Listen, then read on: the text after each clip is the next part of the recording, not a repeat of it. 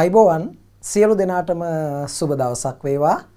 අදත් අපි ඉතාම ආදරයෙන් පිළිගන්නවා DP Education YouTube නාලිකාව. ඔබේ ලොකුම ඔන්ලයින් පාසල ඔබේ නිවසට පැමිණ තිබෙනවා. අඟහරුවාද දවසේ ඉතිහාසය විෂය දැනුමත් රැගෙන. අපි දන්නවා මේ වන විට දූල පුතාලා සියලු දෙනාම සූදානමින් ඉන්නවා. අද දවස්සේ ඉතිහාසය වැඩමුළුවත් එක්ක සම්බන්ධ වෙන්න. ඉතින් සියලු දෙනාම සාදරයෙන් පිළිගන්නවා.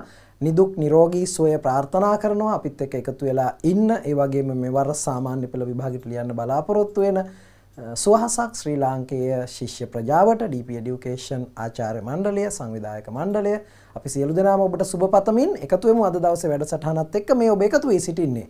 ශ්‍රී ලංකාවේ ලොකුම ඔන්ලයින් පාසල බවට පත්වෙච්ච DP Education අධ්‍යාපනික නාලිකාවේ සජීවී පන්තිමාලාව වෙත රාත්‍රී කාලයේ පැවැත්වෙන සාමාන්‍ය පෙළ සජීවී පන්තිමාලාව සතියේ හැම දිනකම රාත්‍රී 8 සිට 10 දක්වා විශිෂ්ට ගුරු මණ්ඩලයක් විසින් ඔබට නොමදව දැනුම බෙදා දෙනවා.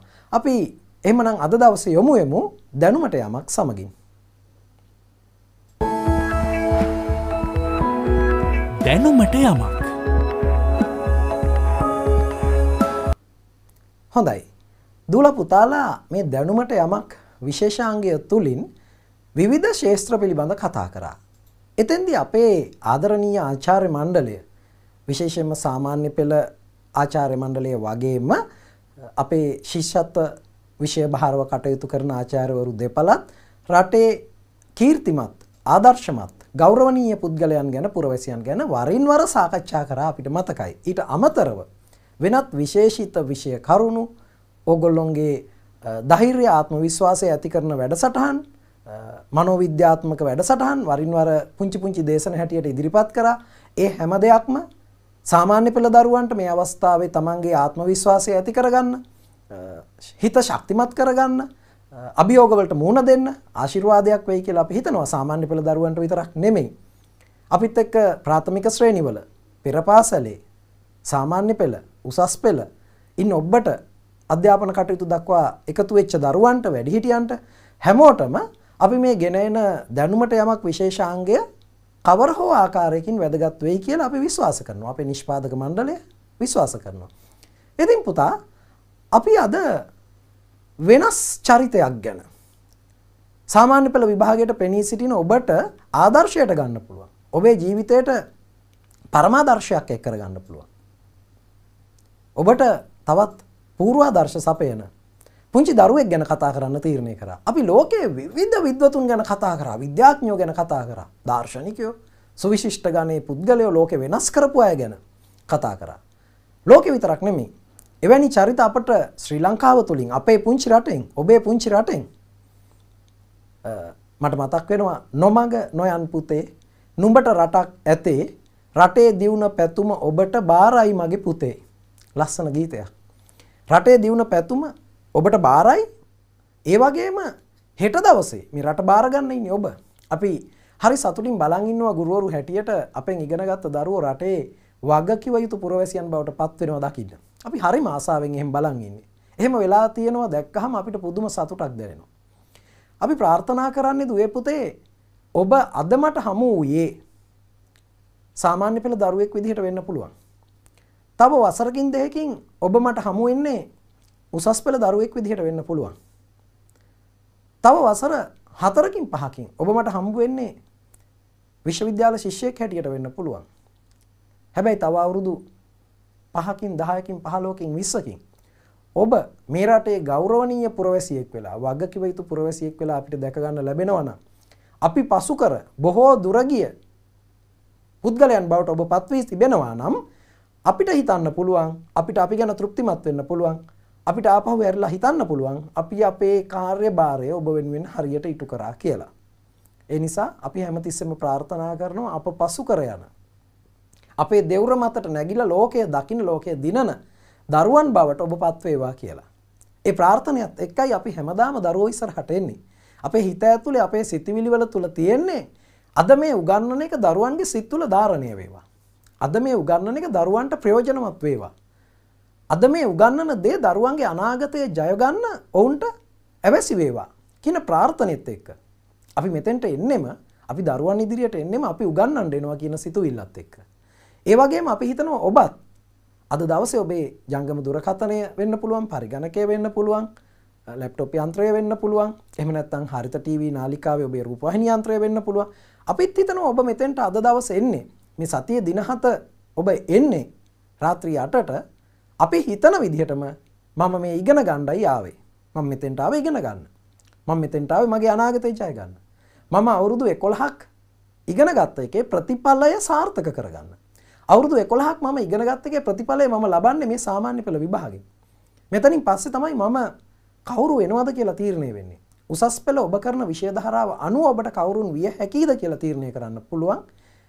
ඉතින් ඔබට උසස් පෙළ කවර විෂය ධාරාවක් තෝරගන්නවද කියන එක සාමාන්‍ය පෙළ ප්‍රතිඵලයෙන් ඉතාමත්ම හොඳින් තහවුරු කරගන්න පුළුවන් ඒ ප්‍රතිඵලය තමයි ඔබ අනාගතය කවුරු වෙනවද කියන එක තහවුරු කරගන්න අවස්ථාව මෙතෙක් කල් ඉගෙන ගත්ත එකේ හොඳම ප්‍රතිඵල ගන්න නම් මේ තමයි ඔබ සතු සියලුම ශක්තියින් ඔබ සතු ආත්ම විශ්වාසය එක තැනකට එකතු කරලා ධෛර්ය සම්පන්නව සාමාන්‍ය පෙළ විභාගය කියන අභියෝගයේ ජය ගන්න තියෙන වර්ෂය. ඉතින් පුතා සමහර දේවල් ගැන කතා කරනකොට අපිට මේ මහාචාර්යවරු දාර්ශනිකයෝ ලෝකයේ සුවිශේෂ පුද්ගලයෝ පසුපසම යන්න ඕනේ ජීවිතයට යමක් එකතු කරගන්න. මම මහාචාර්ය දයාරෝහණ අතුකෝරල සගෙන් මහාචාර්යතුමාගෙන් ප්‍රොෆෙසර්ගෙන් ගුරුතුමන්ගෙන් ඉගෙනගෙන තියෙනවා. එතුමගේ දේශනවලට මම නිරන්තරයෙන් සවන් දීලා තියෙනවා. එතුමා මේ බොහොම පුංචි සරල ඉතා කුඩා කාරණයකින් ජීවිතය ලොකු පින්මක් ඉදිරියට යන්න ලොකු පියවරක් ඉදිරියට තබන්න අපට ආත්ම විශ්වාසය දීලා තියෙනවා. ඒ නිසා එතුමන්ගේ විෂය මා හැදෑරූ විෂයක් නොවනත් එතුමන්ගේ ඇතැම් ගුරුහරුකම් අපිට අපේ ජීවිතයේ සමහර අභියෝගවලට මුණ දෙන්න යෝධ ශක්තියක් වුණා. ඉතින් දුවේ පුතේ එතුම හැමතිස්සම කියපු දෙයක් තමයි ඔබට ප්‍රශ්නයක් ගැටලුවක් වුණහම එක ප්‍රශ්නයක් කියලා හිතන්න එපා. ඒක ගැටලුවක් කියලා හිතන්න එපා. ප්‍රශ්න එන්නේ අඩන්න වැලපෙන්න්න පසු තැවෙන්න පසුගාමීමෙන්ට නෙමේ පසු පසට යන්න නෙමයි කියලා එතුම කිව. ප්‍රශ්නයක් අභියෝගයක් වුණහම ඒ අපි සලකන්න ඕන අප විසින් ජයගත යුතු අවස්ථාවක්. ඒ අපේ ආත්ම ශක්තිය මනින්න. අපේ හැකියාවන් මැන බලන්න අපට ලැබුණු අවස්ථාවක්. නිසල්ල මුහුද දක්ෂ නැවියන් බිහි කරන්න හැනි පුතා. ඒ වගේ තමයි ප්‍රශ්න ගැටලු කියන්නේ අපේ ජීවිතය ආපස්සට හරවන තැන් නෙමෙයි ඒ අපි සලකන්න ඕන මොනවා විදිහටද ම විසින් ජයගත යුතු මගේ ජීවිතය අභියෝග ලෙස හැම ප්‍රශ්නයක්ම අභියෝගයක් ලෙස හිතන්න කියලා දයරෝහණ අතුකෝරල්ස අපිට නිතර කියලා තියෙනවා. ඉතින් පුතේ මම අද කතා කරන්නේ පුංචි දරුවෙක් ගැන. දකිනවා අශාන් ජනිත් අශාන් පුතා පුංචි පුතෙක් අසාන් ජනිත් සේනාදීර. කවුද මේ පුතා? පුංචි පුතෙක් කිව්වට මේ දූල පුතාලා දන්නවද අද මේ වැඩසටහන බලන ශ්‍රී ලාංකය සාමාන්‍ය පෙළ ශිෂ්‍ය ප්‍රජාව ලංකාවේ ඔන්ලයින් පාසලකින් ඔන්ලයින් සිිස්ටම් එකට ඉගෙන ගන්න දරුව වැඩිම ප්‍රමාණයක් එකතු වෙලා ඉන්න ඩප ඩියුගේෂන් එකට තව විවිධ ඔන්ලයින් අධ්‍යාපනික ක්‍රම අධ්‍යාපනික ආයතන ඔන්ලයින් හරහා උගන්වන ගුරුවරු පාසැල් සංවිධාන ඕනෑ තරම් තිබෙනවා. විධ YouTube නාලිකා. නමුත් ඔබ දන්නවා මේ ඔන්ලයින් පාසැල ඔබේ පළමු පාසල බවට අද පත්වී තිබෙනවා. සාමාන්‍යෙන් ඔබේ පළමු පාසල ඔබ අධ්‍යාපනය ලබන විද්‍යාලය විදුහල ඔබේ ඉස්කෝලේ. නමුත් පසුගිය කාලේ ඔබ මේ කෝවිඩ් වසංගත තත්ත්වයක් එක්ක රටේ උද්ගත වෙච්ච ගැටලුත් එක්ක ඔබ ඔබේ ප්‍රමුඛතාවය දුන්නේ මේ DP ඩියුකේෂන් පාසලට. නිසා මේක වැඩිම ළමයි ප්‍රමාණයක් නරමන ඔන්ලයින් අධ්‍යාපනික වැඩසටහන පාසල ස්කෝලේ ඔබේ පින්බිම බවට මේක පත්වෙලා තියෙනවා. ඔබ වැනීම ඔබ හා සමානම ඔබේ වයසේම ඉන්න දෙදහස් විසිය එකේ මං පුංචි පුතෙක්කිවට දෙදහස් විසියගේ සාමාන්‍ය පෙළ විභාග ලියන්න ඉන්න දරුවෙක්.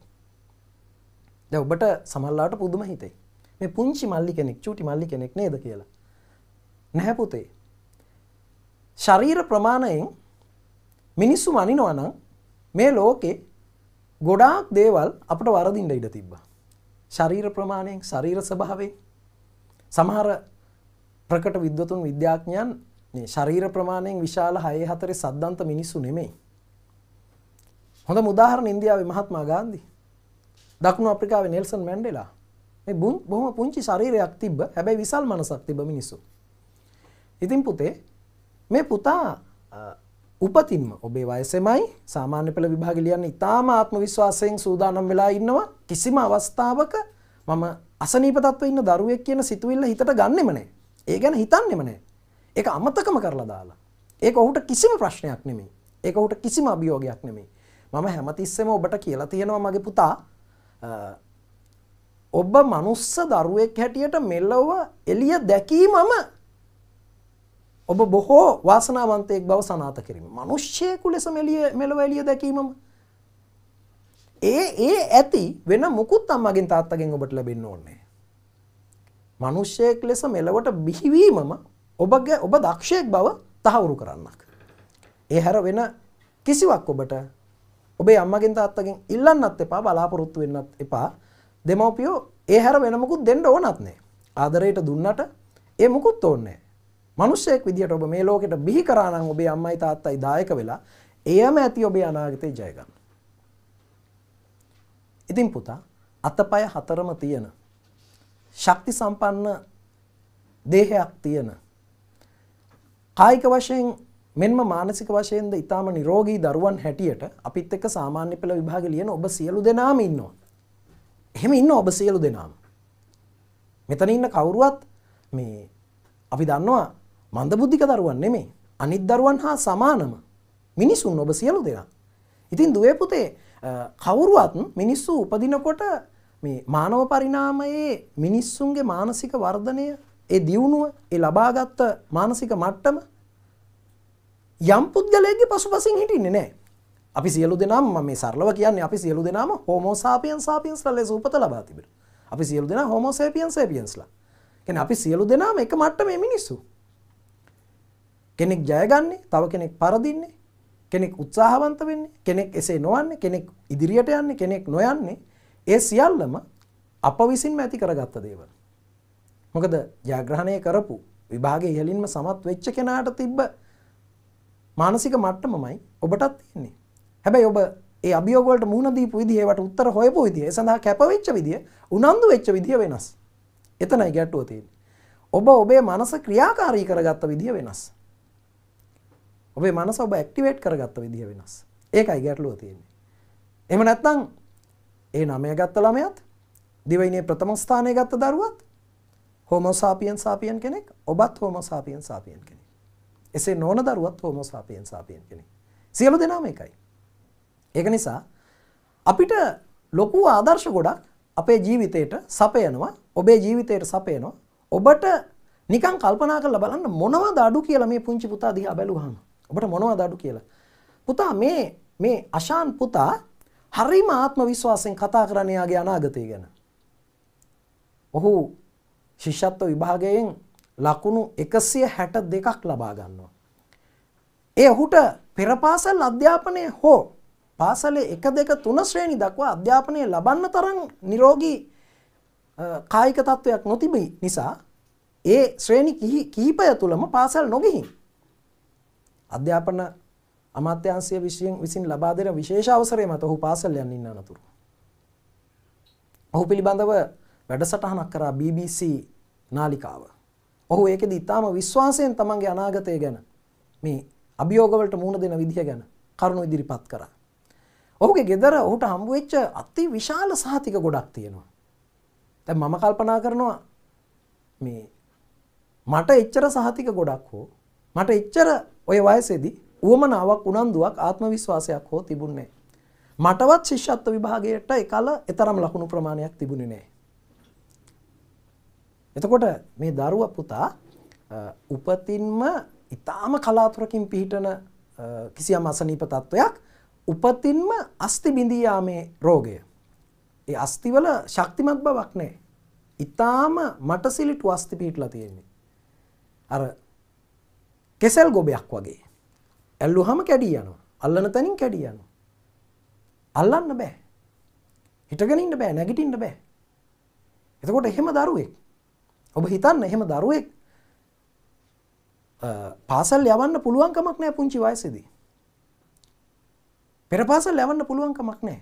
නමුත් එහෙම දරුවෙක් අද සාමාන්‍ය පෙළ දක්වා පාසල් වල හැම වාර විභාගයකින්ම පළවෙනිය දෙවනිය තුන්වෙනිය වෙලා එතනින් එහාට ගිහිල්ලා නෑ. බොහොම කලාතුරකින් අවස්ථාවක ඒත් හතරවෙනිය. එතනින් එහාට ගිහින්නේ. සාමාන්‍ය පෙළ දක්වා සාර්ථකව ඇවිත් තියෙනවා. විවිධ ශේත්‍රවලින් ලබාගත් සහතික මල්ලක්, සහතික මිටියක් තියෙනවා. මගේ සහතික ගොඩේවත් එච්චර සහතික ගොඩක් නෑ බොහොම පුංචි සහතික ටිකක් තියෙන්නේ මගේ සහතික ගොඩේ. ඒකයි මං කිව්වේ අපිට හොඳ ආත්ම විශ්වාසයක් හොඳ ආත්ම ශක්තියක් මේ පුතා සපයනවා. හය ශ්‍රේණියේ ඉඳලම බොහෝ අවස්ථාවල පාසලේ වාර විභාගවල පළවෙනිය. තමාට කළ හැකි කවර හෝ ශේත්‍රයක් ඇති කියන එක ලොවින් කෙනෙක් එක් දෙයකට වෙයි සමත තවත් කෙනෙක් තව දෙයකට වෙයි සමත කියලා කියමනක් තියෙනවනේ. ඒ කියමන ඒ විදිහටම මේ පුතා සනාත කරමින් ඔහු තරයේම කියනවා මම මේ ඉලක්කයට යනවා මගේ ජීවිතේ. මම පරිගණක විද්‍යාව හදාරනවා. මම මෘදුකාංක ගැන හදාරනවා. මම ඒ ශාස්ත්‍රය ඉහළටම යනවා. මං ඒ ශාස්ත්‍රයේ විද්‍යාඥයෙක් වෙනවා කියන ආත්ම විශ්වාසයම මං හිතන්නේ මේ දරුවගේ අම්මයි තාත්තයි බොහෝ පින්වන්ත දෙමව්පියන් වෙන්න ඕන මේ දරුවට මෙච්චරම ඇල්ම බැල්ම ආදරය රැකවරණය ලබා දෙමින් මොකද මේ මේ මෙවැනි රෝග තත්වයන්ට පුතා ඔබ හිතන්න ඔබ මෙහෙම වුණා නම් ඔබට මේ ආත්ම විශ්වාසය තියෙයිද මෙවැනි රෝග තත්වයන් මේ ලෝකෙ ඉතාම කලාතුරකින් ඇතිවන රෝගී තත්වයක් ඒ නිසා ඖෂධ නිෂ්පාදන සමාගම් එවැනි රෝග තත්ත්වයන් ගැන උනන්දු වෙන්නේ නැහැ. මොකද ඉතා කලාතුරකින් මෙවැනි රෝගයක් ඇති වෙන්නේ. ඒතකොට එවැනි රෝගයකට ඖෂධ නිපදවලා විකිනෙන්නේ නැහනේ. ඒ නිසාත් උනන්දු වෙන්නේ නැහැ. රෝගයක් දැන් කොවිඩ් කියන රෝගය කොරෝනා මේ 19 වෙනි ප්‍රබදය 19 2019 අග කාලේ ආපු නිසානේ ඔක මේ කොවිඩ් 19 කියලා නම් කරේ කොරෝනා කියන පවුලේ. එතකොට ඒ රෝගය ඉක්මනින් ව්‍යාප්ත වෙච්ච නිසා ලොකු රෝගීන් ප්‍රමාණයක් ඉන්න නිසා ඒ සම්බන්ධව බොහෝ ප්‍රතිකර්ම හෙව්වා. පර්යේෂණ කර ඖෂධ හෙව්වා. විවිධ එන්නත් වර්ග හෙව්වා හොයාගත්තා. ඒවා සාර්ථක අසාර්ථකත්වය වෙනම කතාවක්. නමුත් මෙවැනි රෝගී තත්ත්වයන් ඉතාමත් අඩු නිසා ඒවට ගොඩක් අයගේ උනන්දුව අඩුයි. ඉතින් එහෙම වෙලා තියද්දී අම්මගේ තාත්තගේ නොමද ආදරය හිමි වෙමින් ඒකත් ලොකු පිනක්. අම්මගේ තාත්තගේ මේ විදිහට ආදරය ලබන්න ලොකු පිනක් කරලා තියෙන්න ඕන. එහෙම හිමි වෙමින්. තමන්ගේ ගමන කවර හෝ ශේත්‍රයක මට යන්න තැනක් තියෙනවා. මොන ගැටලුව තිබ්බත් මට යන්න මේ ලෝකේ පාරක් තියෙනවා ඉඩක් තියෙනවා. මේ ලෝකය හරි විසල් ලෝකයක්. මේ ලෝකේ හරි පුළුල් ලෝකයක්. මේ ලෝකේ හරි සංකීර්ණ ලෝකයක්. ඒ සංකීර්ණතා අතරේ අපිටත් යම් කොටසක් අපිටත් යම් වගකීමක් තියෙනවා කියන එක මේ සේනාධීර පුතා අශාන් ජනිත් සේනාධීර පුතා විශ්වාස කරනවා ඒ විශ්වාසය මොහුගේ ඉදිරි ගමනට ලොකු ශක්තියක් වෙලා ඔහු සතු ආත්ම ශක්තිය ඔහු සතු විශ්වාසය ඔහුගේ අනාගතය ජයගන්න ඔහුට පුළුවන් කියන එක. ඉතින් මේ ධෛර්ය සම්පන්න භාවය ඔබේ ජීවිතවලටත් ආදර්ශයක් කරගන්න ඔබට මෙවැනි ගැටලු නොතිබෙන්නට පුළුවන්. මෙවැනි අසනීප තත්ත්වයන් මධ්‍යයේ අශාන් පුතා ජීවිතේ ලොකු තැනක් හොයනවා නම් ලොකු ඉඩක් මේ විශ්වයේ කොහේ හරි ඔහුට හොයනවා නම් ලොකු ජයග්‍රහණයක් දකින්න ඔහු බලාපොරොත්තු තියන් ඉන්නවා නම් ඔහුගේ ජීවිතය තුළ ඔබට කෙසේ විය හැකිද? ඒකයි මේ පුතාගෙන් ඔබට ගන්න තියෙන ආදර්ශය. කවදාවත් අශාන් පුතා ඔහු ගැන කියලා ප්‍රසිද්ධ වෙන්න කැමති නෑ. නමුත් ඔහු ගැන කිව යුතුයි කියලා ගුරුවරයෙක් හැටියට මම විශ්වාස කරනවා මොකද ඒක ඔබේ ජීවිතයටත් පන්නරයක්. ඉතින් අපි අශාන් පුතාගේ සාමාන්‍ය පෙළ සිහිනය ඒ අයුරින්ම ඔහු දකින ඔහු ප්‍රාර්ථනා කරන අයුරින්ම ඉහලින්ම සාර්ථක වේවා ඒ වගේම ඔහු ප්‍රාර්ථනා කරන ලෝකයේ කවර හෝ කාර්යයකට මටත් වගකීමක් ඇති මගේ ජීවිතයටත් දීපු වගකීමක් ඇති මේ විශ්වය කියන විශ්වාසය. ඒ කවර හෝ ඉඩක් මටත් මේ ලෝකය ඇතුලේ තියෙනවා කියන විශ්වාසය. ඒක මම ඔබටත් කියන්නේ ඒකයි. ඔබටත් මේ ලෝකේ යම් කාර්යභාරයක් තියෙන ඔබ මෙලවට බිහි වෙන්නෙම ඔබ මේ ලෝකෙට එන්නෙම මනුස්ස දරුවෙක් හැටියට කිසියම් හෝ කාර්යයක් මේ ලෝකෙ වෙනුවෙන් ඔබත් කරන්න ඕන නිසා. ඒක ඔබ හොඳට මතක තියාගන්න. ඔබටත් යම් වගකීමක් මේ ලෝකෙ පැවරලා තියෙනවා. අපි හුස්ම ගන්න මේ හමාගෙන එන සුළඟේ තියෙන ඔක්සිජන් වායුව නම් අපිත් ඒ වෙනුවෙන් කළ යුතු දෙයක් තියෙනවා. අපි ඉන්නේ මේ මහ පොළොවේ නම් අපි මේ මහ පොළොවට කළ යුතු දෙයක් තියෙනවා. අපි පානය කරන්නේ මේ මහ පොළොවේ උල්පත් වලින් එන ජලය නම් සීත කඳු ලැමැද මැද්දේ නිම්න භූමියේ මිහිරි මව් කිරෙන් උපදින වතුර උල්පතයි පුතෙකු දෙතොල පුතෙකු දෝත නගන්නේ එතනයි දෙතොල තෙමන්නයි කියලා කියලා තියෙන්නේ ගුණදාස කපුගේ මහත්මයා. ඉතින් එහෙම මේ පිරිසිදු වතුර ටික මේ භූමියේ උල්පත් වලින් අරගෙන අපි බොනවා නම් නානවා නම් ඒ ජලය වෙනුවෙන් අර දකින විනෝද වෙන ලස්සන සාගරය ගිහිල්ලා මුහුදු වෙරළ ඉඳගෙන ඒ සාගරය වෙනුවෙන් අර ගිහිල්ලා යාල වනෝද්‍යානයේ සිංහරාජ ගිහිල්ලා දකින්නකොට අර අපට සෙවණ දෙන තුරු පහස වෙනුවෙන් මේ වාතය වෙනුවෙන් මේ මිහිතලය වෙනුවෙන් මේ පොළොව වෙනුවෙන් ආදරය කරන මනුස්සය වෙනුවෙන් අපි පවතින්නේ මනුස්ස සමාජයක් ලෙස මිනිසුන්ගේ ආදරය මැද්දේ මේ සමාජය තුළ මිනිස්සු පවතින ආදරයත් එක්ක මිනිස්සු සමාජ සත්වයෝ. එහෙම වෙනවා නම් ඒ මිනිසා වෙනුවෙන් ඒ සමාජය වෙනුවෙන් ඒ මහ පොළොව වෙනුවෙන් මේ ඉරහඳ තාරකා වෙනුවෙන් අපේ ජීවිතයට උදව් වෙච්ච අය තාරකා වෙනුවෙන් මේ වාතය වෙනුවෙන් මා ශෝෂණය කළ වාතය වෙනුවෙන් මමත් මේ මිහිතලේ වායුගෝලයට මොකක් හෝ දෙයක් මගින් කෙරෙන්න ඕන කියලා වැඩ කොටසක් ඔබටත් තියෙනවා. ඕක අපි හිතුවේ නැතුවට පුතේ උතුරු ඇමරිකාවේ පාරම්පරික ගෝත්‍රික රතු ඉන්දයානු සියටල්ට ඕක හිතුණා. සියටල්ට හිතුණා මේ ගලාගෙන යන දොළ පාරවල් කියන්නේ අපේ සහෝදරයෝ. එන අපේම කොටසක් අපේ පරිසරයේ කොටසක් අපිත් පරිසරය.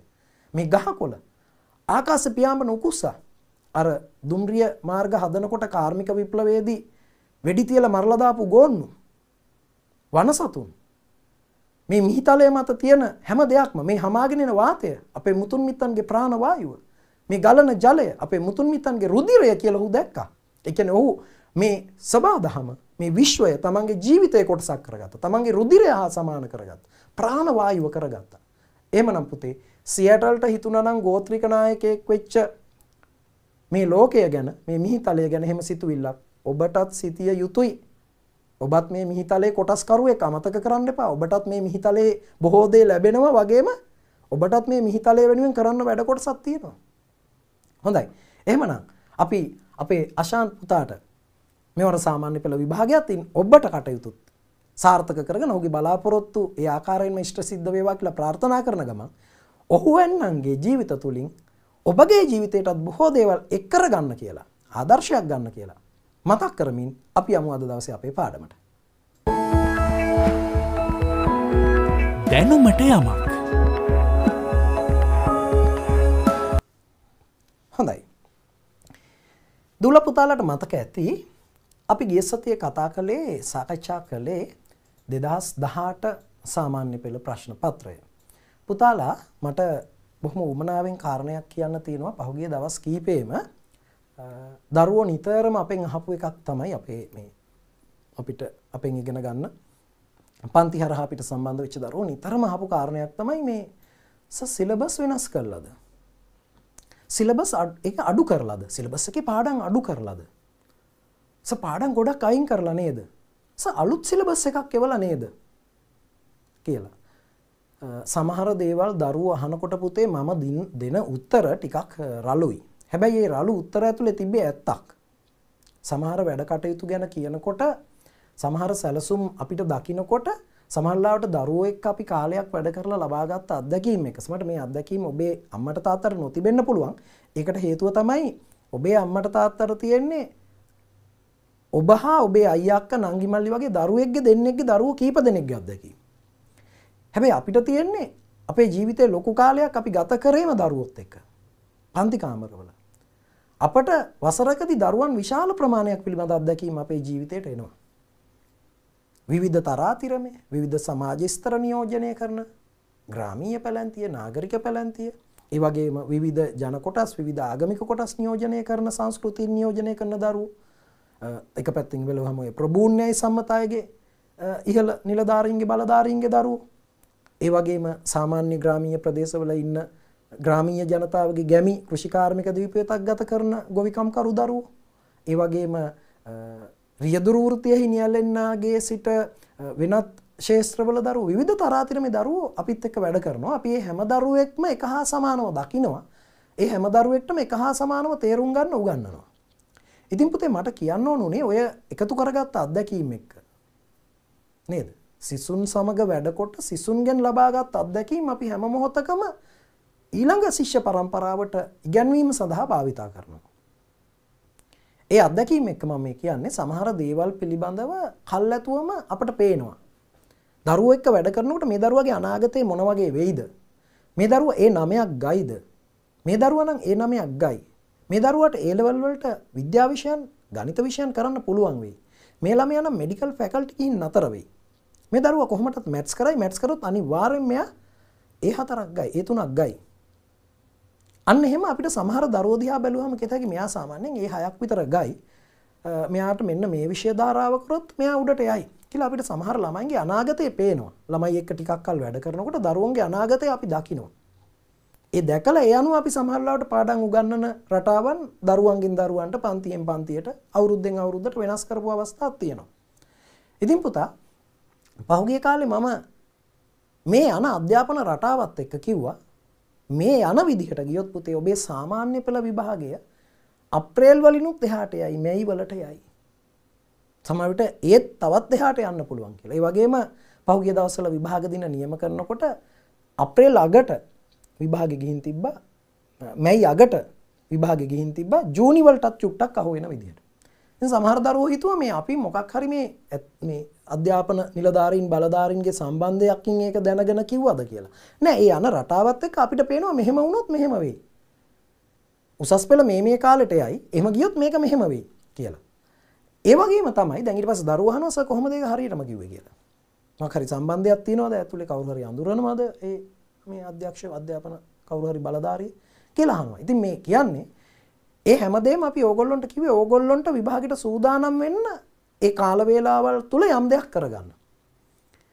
ඒ වගේම මම කිව්වා එහෙම වුණත් ඒවා නිශ්චිත නැහැ රටේ ඇතිවෙන මේ වාස්තවික තත්ත්වයන් එක්ක සමහරලාට මොකක් වෙන්න පුළුවන්ද? යලිත් දිනවකවානු වෙනස් විය හැකි කියලා කිව්වා වගේ මේකත් ඒ විදිහටම කිව්වා. අවශ්‍ය වුණොත් අපි ඉදිරියට ගන්නවා කියලා අධ්‍යාපන බලධාරීන් කිව්වා. දැන් පහුගිය දවස්වල ළමයි හරියට අහපු එකක් තමයි දුවේ පුතේ ඕගොල්ලෝ අහපු එකක් තමයි විෂය නිර්දේශය අඩු කරලා නේද? පාඩම් ගොඩක් අඩු කරලා නේද? අලුත් සිලබස් එකක් එවලා නේද? කියලා. හැබැයි ඒ කියනකොට මම දැකලා තිබ්බේ නෑ මොකද්ද ඒ වැඩපිළිවෙල කියලා. හැබැයි මම කිව්වා ඔය එකක්වත් නිශ්චිත නෑ. මම ඒක අධ්‍යයනය කරලා කියන්නම් කියලා මම බැලුවාම දරුවෝ සම්පූර්ණ වැරදි මතයක ඉන්නේ. කිසිම පාඩමක් ඉවත් කළා කියලා ඒ නව විෂය සංශෝධනවල සඳහන් කරලා නැහැ. කොටිම කියනවා නම් එහෙම එකක් නැහැ. එහෙම එකක් නැහැ කියලා බලධාරීන් විසින්ම පසුව කිව්වා මේ වැරදි මතයක් සමාජය යනවා කියලා. ඒකට ඒකෙදි මම කිව්වා එහෙම එකක් නැහැ. කිසිම පාඩමක් අඩු කරලා නැහැ. ඒක කියලා තියෙන්නේ යම් පාඩම් කිහිපයක් නම් කරලා එම පාඩම් නමය ශ්‍රේණියේදී ආවරණය වී ඇති බැවින් ඒවා එකොළහ ශ්‍රේණියේදී හැදෑරීම අත්‍යවශ්‍ය නොවේ. අවශ්‍යයි ඉගෙන ගන්න ඕන හරිද දැනුම අවශ්‍යයි. හැබැයි ඒවා පාඩම් හැටියට ඉගැන්වීම අත්‍යවශ්‍ය නැහැ. මොකද ඒක 9 ශ්‍රේණියේදී ආවරණය වෙලා තියෙනවා. උදාහරණයකට 10 ශ්‍රේණියේ පුනරුදය පාඩම මේ මොහොතේ ඉගෙන ගැනීම අත්‍යවශ්‍ය නොවේ. හේතුව ඒ කියන්නේ ඒක ඕනේ නැහැ කියලා නෙමෙයි කියන්නේ. හරිද? අවශ්‍ය නැහැ කියලා නෙමෙයි අත්‍යවශ්‍ය නොවේ. හේතුව හැටියට කියලා තින්නේ එය අට ශ්‍රේණියේදී සාකච්ඡා කරන ලද පාඩමකි.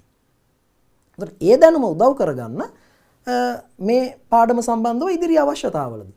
ඉදිරියේදී ඒ සම්බන්ධව වාර විභාග හෝ වේවා සාමාන්‍ය පෙළ හෝ වේවා ප්‍රශ්නයක් ඇහුවොත් ඒක අවශ්‍ය නැහැ නෙමෙයි. ඒක ඒ 10 ශ්‍රේණියේදී ඉගෙනීම අත්‍යවශ්‍ය නොවේ. අවශ්‍ය නැහැ කියලා නෙමෙයි කියන්නේ අත්‍යවශ්‍ය නැහැ. මොකද ඉගෙනගෙන තියෙන නිසා. ඒ කියන්නේ ඉගෙන තියෙනවනේ. ඒ කියන්නේ අවශ්‍යයිනේ. ඒකනේ කියන්නේ ඉගෙන ගත්ත නිසා ඒක මේ මොහොතේ ඉගෙන ගැනීම අත්‍යවශ්‍ය නැහැ. එහෙම නැතුව කිසිම පාඩමක් ඉවත් කරලා හෝ අඩු කරලා නැහැ. ඒක මම මුල් අවස්ථාවේදීම බොහෝ දරුවන්ට කියලා තියෙනවා. ඒ නිසා ඒ ඒ ඒ ඒ කාරණය ගැන සැලකිල්ලෙන් ඉගෙන ගන්න. විභාගයක තියෙන ගුණාත්මක බව ඒ විදිහට මේ වසංගතයක් නිසා හෝ වෙනත් මේ භෞතික වටපිටාවේ ඇති වෙන තත්ත්වයන් නිසා විභාගයක තියෙන ගුණාත්මක බව එහෙම අඩු කරන්නේ ඒ විභාගයක් බාල්දු කරන්නේ ඒ බලධාරීන්. විභාගයක තියෙන ගුණාත්මක බව කියන එක කොයි මොහොතෙත් රැක ගන්නවා. ඒ ප්‍රතිඵලය දෙන විදිහ, ඒ ප්‍රතිඵලවල ඒ සාමාර්ථතාවයන්ට අදාළ ලකුණු ප්‍රමාණයන් එහෙම මේ පල්ලෙහාට දාන්නේ නැහැ. යම් යම් සහන තත්වයන් සහනශීලී වටපිටාවන් ලබා දෙන්න පුළුවන්. නමුත් ඔය කියන විදිහට මේ මේ පාඩම ඕනේ මේක ඕනේ මේක ඕනේ මේක ඕනේ මේක ඕනේ කියලා ළමයි හිතන් ඉන්නවා. එහෙම එකක් නැහැ. එම පාඩම් මීට පෙර ඉගෙනගෙන ඇති නිසා මේ මොහොතේ අත්‍යවශ්‍ය නැහැ. ඕන්නම් බලා ගන්න නමුත් ඒකම පාඩමක් විදියට ඉගෙන ගන්න බෑ මොකද ඒක 9 දී ඉගෙනගෙන තියෙනවා. ඒක 8 දී ඉගෙනගෙන තියෙනවා. කියන අදහස තමයි ඒකෙන් කියලා තිබ්බේ. කිසිම පාඩමක් ඉවත් කරලා නැහැ. ඒ කාරණේ ගැන සැලකිලිමත් වෙමින් අපි යමු අපේ ප්‍රශ්න පත්‍ර වලට අපි මේ විදිහට සාමාන්‍ය පෙළ ප්‍රශ්න පත්‍ර ටික කරගෙන යනවා. මේ 2018 ප්‍රශ්න පත්‍රය අපි සාකච්ඡා කරමින් ඉන්නේ. ඊළඟට අපි කතා කරනවා 2019 ප්‍රශ්න පත්‍රය. 2020 අපි මුල් අවස්ථාවේදීම සාකච්ඡා කළා. ඉන් අනතුරුව අපි බලාපොරොත්තු වෙනවා තවත් විශේෂිත ප්‍රශ්න පත්‍ර කීපයක් සාමාන්‍ය පෙළ විභාගය දක්වා ඔබ වෙත ගෙනෙන්න. විභාගය කල් ගියොත් අපි මේ වැඩසටහන විභාගය දක්වා ගෙන යනවා මොකද ඒකට හේතුව අපි අතරමඟ මේක නතර කරොත් ඔබේ මතකය ගිලිහෙනවා ඔබේ උනන්දුව අඩු වෙනවා ඔබ විභාගය සඳහා කැප කරන කාලය ඔබ අතින් ගිලිහිලා යනවා නිසා දෙමව්පියෝ නිතරම කියන්නේ විභාගේ කල් ගියත් සර් සිලබස් කවර් කරත් විෂය නිර්දේශ ආවරණය කරත් සර් මොනවා හරි දෙයක් කරන්න. මොකද සර්ලා එක්ක වැඩ කරන වෙලාවේ විතරයි මේ දරුවෝ වැඩක් කරන්නේ. අනිත් වෙලාවෙදී අපි කිව්වට කරන්නේ නැහැ.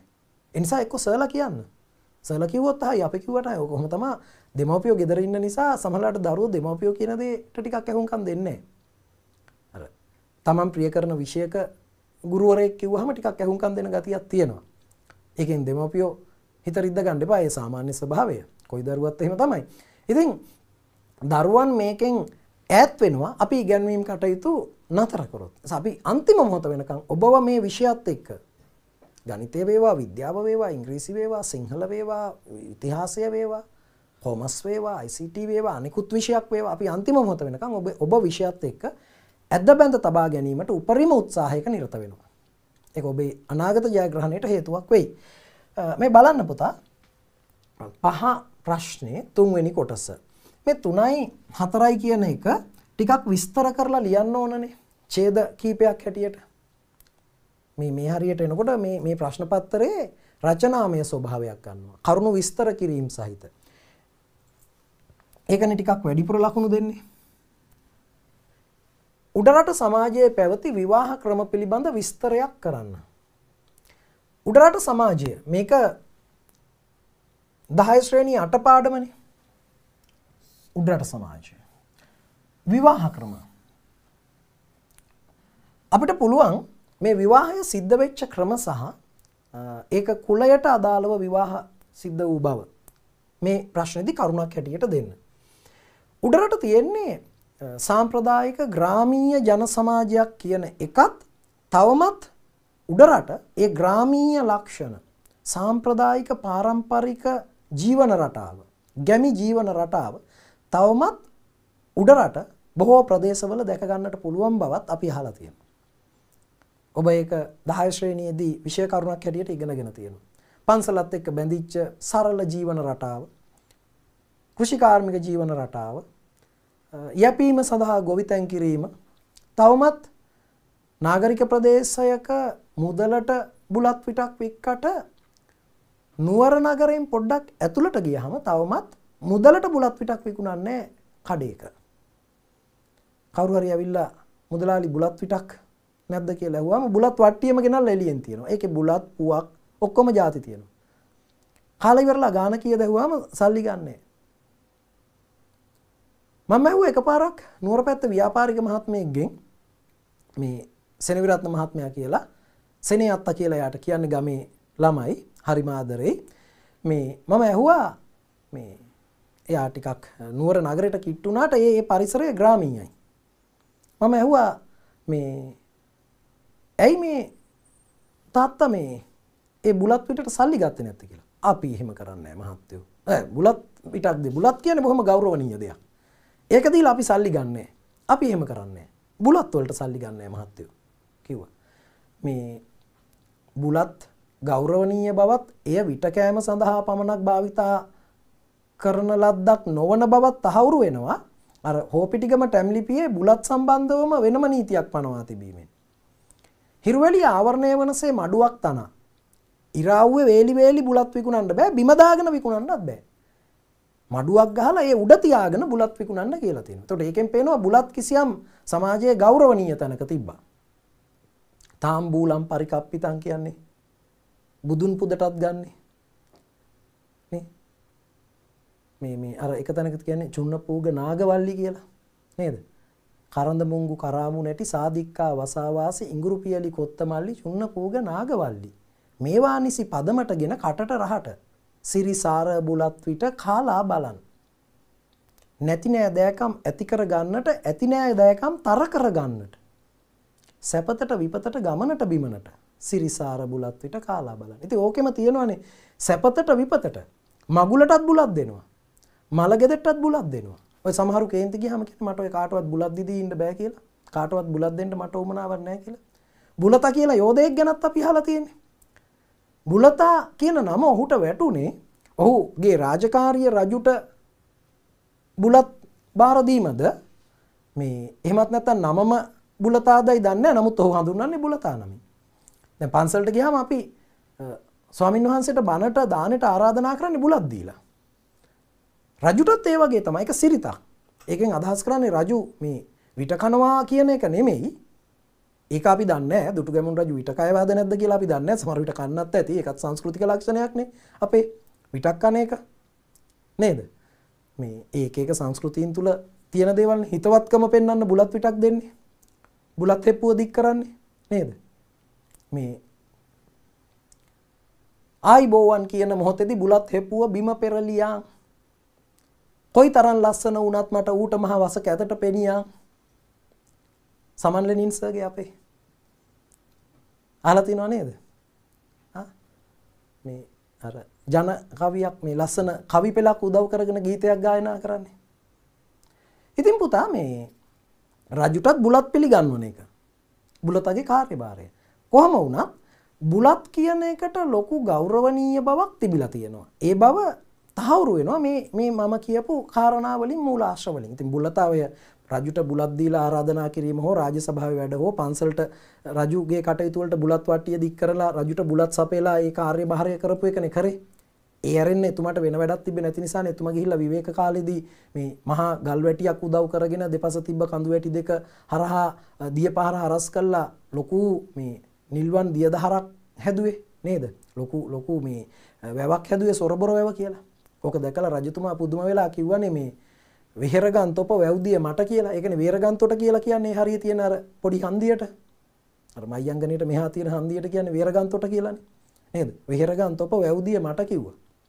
බුලතගේ පිටට තට්ටුවක් දාලා රජතුමා මේ වෙහෙරත් එදාමනේ විවෘත කරලා තියෙන. ඒ වෙලාවේනේ බුලත කිව්වේ මාත් පොඩි වැඩක් කරා ඇවිල්ලා බලන්න රජතුමනි කියලා. රජතුමා පුදුම වුණානේ මේ විශ්මිත නිර්මාණය දැකලා. ඊට පස්සේ තමයි රජු කල්පනා කරේ රට ශාස්ත්‍රීයකරණ එක මගේ යුතුයකමක්. ඒකට වැව්දිය ජලය හරි සම්පතක්. වතුර හරි සම්පතක්. ජල සම්පත. ඒකනේ කිව්වේ හසින් වැටෙන එක්දිය බිඳක් හෝ ජනතාවගේ ප්‍රයෝජනයට නොගෙන මුහුදට ගලා යා නොදෙමි කියලා. බලන්නකො ඉතිහාසයේ කොච්චර ලස්සන විෂයක්ද? විෂය කරුණ ඇතුලේ කොච්චර දේවල් ජීවිතයට ගන්න තියෙනවද? කොච්චර సౌందర్యාත්මකද? එක කරුණක් ඇතුලෙන් කොච්චර පාරවල් තියෙනවද ඉතිහාසයේ යන්න? විශ්වීය විෂයක් නේද? ආගමක් වගේ. සංස්කෘතියක් වගේ ඉතිහාසය. නේද? ඉතින් පුතා දැන් රට ශාස්ත්‍රීය කරන්න ජලය අවශ්‍යයි. රජුගේ කාර්යභාරය රට සංවර්ධනය කිරීම ආර්ථික සමෘද්ධිය. ඉතින් බුලතට කියනවා වෙහෙර ගන්න ඔබ. වැව දෙන්න මට. ඉතින් කොහොමත් රටේ සම්පත් රජුට අයිති. කොහොම වුණත් මම මේ කිව්වේ බුලත්වල කතාවෙන් කතාවෙන් මම දුරට ගියානේ මහනුවර සමාජය ගැන. ඉතින් අර බුලත් හෙපුව මේ බුලත් වට්ටිය ගෙනත් තිබ්බහම කිව්වා නෑ අපි බුලත් දීලා සල්ලි ගන්න නැහැ කියලා. ඒ කියන්නේ ඒ තරම් ගෞරවණීයයි. ඒ තරම් සංස්කෘතිකයි. කඩපිලේ එන කෙනෙක්ට තේ එකක් හදලා දෙන එක සල්ලි ගන්න නෑනේ. ඔය නුවර පැත්තේ ගම්වල කොයි වෙලාවෙත් කේතලේ ලිපේ තියලා තියෙන්නේ. දරංගුරු ටිකක් දාලා. මනුස්සේ ගිහිල්ලා මේ සෙනේ මාමා සෙනේ අයියා මේ සෙනේ අපච්චි සෙනේ අත්තා තේ එකක් දෙන්නකෝ තේ පොඩ්ඩක් බොමුද ඉල්ලුවත් නැතත් තේ එකක් හදලා දෙන ಗುಣගරුක බවක් තියෙනවා ඉල්ලුවත් නැතත් තේ එකක් හදලා ගෙනත් තියෙන හකුරු කෑල්ලක් එක්ක විස්කිරිඤ්ඤයක් එක්ක ඥාන කතාවක් එක්ක එහෙම ගතියක් තියෙනවා පුතේ හුලං විස්කෝතුවක් එක්ක ඒ ඒ ගතිය තාමත් මහනුවර තියෙනවා. ඉතින් ග්‍රාමීය සමාජයක්නේ. ඔය සමාජය ගැන අපි හොඳට ඉගෙනගෙන තියෙනවා 8 වෙනි පාඩමේදී 10 ශ්‍රේණිය 8 වෙනි පාඩමේදී. මේ සමාජය ඇතුලේ විවාහය සිද්ධ වෙච්ච ක්‍රමය. තවමත් ග්‍රාමීය ප්‍රදේශවල තවමත් කියන්නේ මීට මේ මේ මේ සිය මේ මේ 2000න් පස්සේ සියවසේ නම් මම දන්නේ නැහැ. 2000න් පස්සේ ලැබිච්ච මේ සියවසේ නම් මම දන්නේ නැහැ. නමුත් ගෙවි ගිය සියවසේ මෙම විවාහ ක්‍රමයන් නුවර ආශ්‍රිත නුවර කිව්වහම සතර කෝරළේ සත් කෝරළෙත් අයිති. ඌව වෙල්ලස්ස බිම් තැන්නත් අයිති මතක තියාගන්න. මාතලෙත් අයිති නුවර කලාවියත් අයිති නුවර කිව්වහම මහ නුවර නගර විතරක් මතක් කරගන්න එපා. කොත්මලේ පුසුල් පිටිය ගම්පල පුස්සල්ලාව තවලන්තැන්න කොත්තුනුගොඩ ඒවත් අයිති. ගිනිගත්තේන නාවල පිටිය ඒවත් අයිති. ඒක නිසා මේ කැප්පෙටි පොල වැලිමඩ බදුල්ල බණ්ඩාරවල ඇල්ල වැල්ලවායට යනකම් අයිති. ඒක නිසා නුවර කිව්වහම මේ ටවුම විතරක් මතක් කරගන්න එපා මේක රාජධානියක්නේ. ඒක ඇතුළේ මේ විවාහ ක්‍රමයන් පසුකාලීනවත් මේ ගෙවීගිය සියවස තුළත් අපි දැකලා තියෙනවා. මේ බලන්න. අ, සාමාන්‍යයෙන් විවාහයකට එනකොට අ, වැඩිහිටියෝ අහන එකක් තියෙනවා. මේ මේ ඉලන්දාරියා දෝනියන්දව බැඳලා අරගෙන යන්නද බලාපොරොත්තු වෙන්නේ? ආ එතකොට එහෙනම් ඒක මොකද්ද? දීඝ විවාහය. දුව බන්දලා යවනවා. දීඝ දුන්නා. දෝනියන්ද දැක්කේ නෑ නෝ බණ්ඩු. දෝනියන්ද දීඝ දුන්නා නෝ. දීඝ විවාහය. දුව බන්දලා දෙනවා. ඒකේ අනික් පැත්ත තරුණයෙක් විවාහ යෝජනාවක් අරගෙන ආම වැඩිහිටියෝ කියනවා අපච්චි කියලානේ නුවර පැත්තේ තාත්තට කියන්නේ. අපච්චි කියනවා මේ අපේ මේ ඉඩකඩම් වතු පිටි වෙලහෙළඳාම් ගොවිතැන් බලා කියා ගන්න කෙනෙක් තමයි අපිට ඕනේ. ඉතින් මේ විවාහය කරනවා නම් ඔය ඊලන්දාරියට පුළුවන්ද මේ ගෙදර නතර වෙන්න? ආ එතකොට බින්න බහිනවා කියනවා. සමහරු කියන්නේ මේ ඉක්මනට යන්නකෝ ආපුවතක් බලාගෙන කිව්වම සමහරු කියනවා නේද මේ ඔව් මම මෙතන මේ බින්න බහින්න ආවේ නැහැ කියලා. ආ බින්න බහිනවා කියන්නේ විවාහ වෙච්ච ගෙදරම නතර වෙනවා. බින්න විවාහය. දීඝ විවාහය නම් දුව විවාහ වෙන පුද්ගලයාගේ ගෙදෙට්ට යවනවා. බින්න විවාහය නම් තෝනියන්දගේ ගෙදර විවාහ වෙන පුද්ගලයා නතර වෙනවා. බින්න බහිනවා. ඉතින් හුළු අත්තක් එහෙම ලෑස්ති කරගෙන ඉන්න කියලා කියනවා. පොඩි අවුලක් වුණොත් ගෙදරින් එළියට බහින්න වෙනවා නේද? ආ? එහෙම තමයි සාමාන්‍යයෙන් කියන්නේ. බින්න විවාහයකදී නිකන් කියමනක් ඒක ඇත්තට එහෙම උනේ නැහැ මොකද මේ විවාහයන් එකක්වත් නෛතික නැහැ නෛතික විවාහයන් අපට හඳුන්වලා දුන්නේ මේ බ්‍රිතාන්‍ය සංස්කෘතිය. බ්‍රිතාන්‍යයන් ආවට පස්සේ තමයි නෛතිකව ලේඛනගතව අත්සන් කළා සාක්ෂිකරුවෝ ඉදිරියේ විවාහ රෙජිස්ට්‍රාර්වරයෙක් විසින් විවාහ කරන ක්‍රම ඒවාවේ මේ අපිට යුරෝපයෙන් බටහිරින්. ඊට පෙර හෘදයාංගම විශ්වාසය. හෘද සාක්ෂියේ බැඳීම, හදවත් දෙකේ බැඳීම විතරයි මේ විවාහයන් වල තිබ්බේ. නිකම්ම බැඳා. හරිද? ඒ බැඳීම බොහොම තදයි. ලේසියෙන් වෙන් වුණේ නෑ. දැන් ඒක අනිත් පැත්තනේ වෙලා තියෙන්නේ නේද? නීතියෙන් තදින් බඳිනවා. තද නීතියකින් විවාහ වෙනවා. හරිද? බොහෝ කෙටි කාලෙකින් වෙන් වෙන්න උත්සාහ කරනවා. ඒ කියන්නේ අන්‍යෝන්‍ය අවබෝධය නැහැ නීතියෙන් විතරක් දෙන්නෙක් එකතු වෙන එක. එහෙම තිබ්බේ නැහැ මහනුවර සමාජයේ. මහනුවර සමාජයේ නීතියට වැඩිය සංස්කෘතිය උඩින් තිබ්බා. ඒ නිසා සංස්කෘතියෙන් දෙන්නෙක් විවාහ වුණා කියනවා හැරෙන්න නීතියක අත්සන් කරේ නැහැ. එහෙනම් වෙන් වෙන්න කොච්චර ලේසිද? නමුත් එහෙම උනේ නැහැ. ඒකයි මම මේ කියන්නේ. එහෙම උනේ නැහැ. තද නීති තිබ්බත් දැන් වෙන් වෙනවනේ. නමුත් අතීතේ තද නීති නොතිබ්බත් එහෙම උනේ නැහැ කියන එකයි මම මේ කියන්නේ. ඒවා තමයි මේ මානව ගුණධර්ම කියන්නේ. මානව සමාජයක මානව සංස්කෘතිය ඇතුලේ තියෙන ඕන ගුණධර්ම. හැබැයි ඕවා අපට දීපු බ්‍රිතාන්‍ය තුල බටහිර ජාතිකයන් තුල දැන් ඔය නීති නැහැ. ඔය සංකල්ප නැහැ. කැනඩාවේ ඇමරිකාවේ බ්‍රිතාන්‍ය යුරෝපා රටක ඉන්න ඔබේ විදේ ඔබ දන්න විදේශිකයෙක්ගෙන් අහලා බලන්න. නෛතික විවාහයන් කොතෙක් දුරට තියෙනවද කියලා නෑ. ඒගොල්ලෝ ඒවා අපට දුන්නට දැන් ඒගොල්ලෝ ඒවා අතහැර දමලා. ඉතින් පුතා විවාහ වර්ග දෙකක් මහනුවර සිද්ධ වුණා. ඊළඟ එක මෙන්න මේ එක ගෙයි කෑම කියන එක. ඕක පාසල් පෙළ පොතේ එක ගෙයි කෑම කියලා තිබ්බට ඕකට අපි මෙහෙම අර්ථකථනයක් දෙමු. මම මෙන්න මෙහෙම දුන්නොත් ඔබ බලන්න.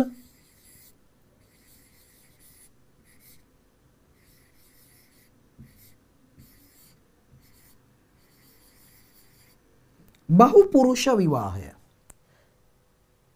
බහු කියන්නේ ගොඩක් පුරුෂ කියන්නේ පිරිමි. එක පවුලේ පිරිමින් කිහිප දෙනෙක් වෙනුවෙන් මේක වරදවා තේරුම් ගන්න එපා. මේ වචනය යවුවාම සමහර වෙලාවට යෞවන වයසේ ඉන්න දරුවෙක් මේක වැරදි විදිහට හිතන්න පුළුවන් නේ. يعني කාන්තාවක් පිරිමින් ගොඩාක් එක්ක ජීවත් වෙනවද වගේ අස නෑ. එහෙම එකක් නෙමෙයි. බහු පුරුෂ කිව්වේ පවුලේ පිරිමි දරුවන් තුන් දෙනෙක් ඉන්නවා. දෙන්නෙක් ඉන්නවා. කීප දෙනෙක් ඉන්නවා.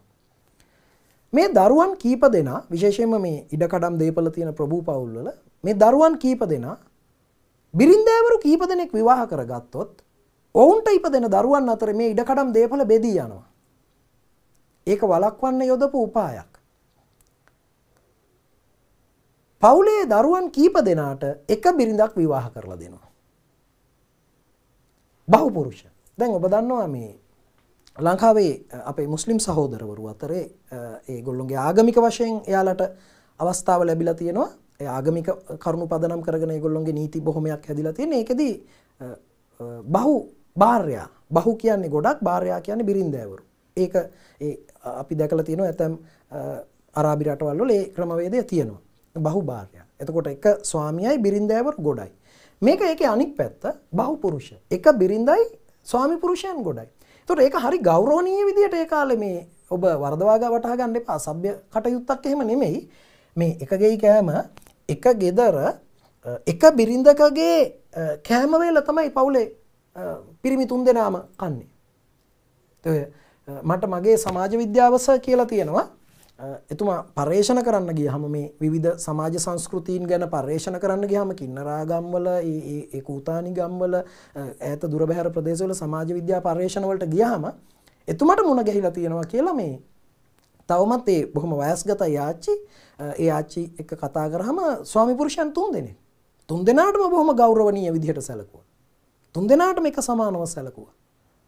ලැබුණු දරුවා තුන් දෙනාගේම දරුවෝ විදිහට සැලකුවා. ඒකත් ඉතින් එක්තරා සංස්කෘතිකාංගයක්. එතකොට දැන් ඒ ඒ ඒ ආච්චි අම්මා කිව්වලු මේ මම තුන් දෙනාටම වැඩියෙන් ආදරේ බව පෙන්වන්න පොඩි උපායක් යොදනවා මහත්තයෝ. බුලත් විටක් එහෙම කාලා කිව්වලු මේ පොඩි උපායක් යෙදුවා මහත්තයෝ. මොකක්ද මේ?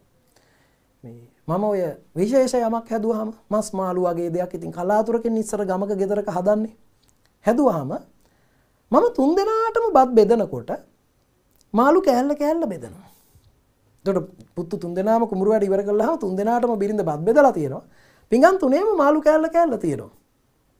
තුන් දෙනාම අරගෙන කනවා. සමව ආදරේ. සමව ස්වාමි පුරුෂයන්ට සලකලා තියෙනවා. මාළු කෑල්ලක් අරගෙන බත් ටික අස්සෙන් එකක් හංගලා තියෙනවා එක පිඟානක. එයා ටිකක් කාගෙන යනකොට එයාට අර මාළු කෑල්ල අහු වෙනවා. එයාට අග්ගාල වටපිට බලනවා මට වෙනම මාළු කෑල්ලක් දාලා බිරිඳ මට වැඩිපුර ආදරය ඇති කියලා. ඒකම කරනවලු අනිත් මහත්තුරු දෙන්නටත්.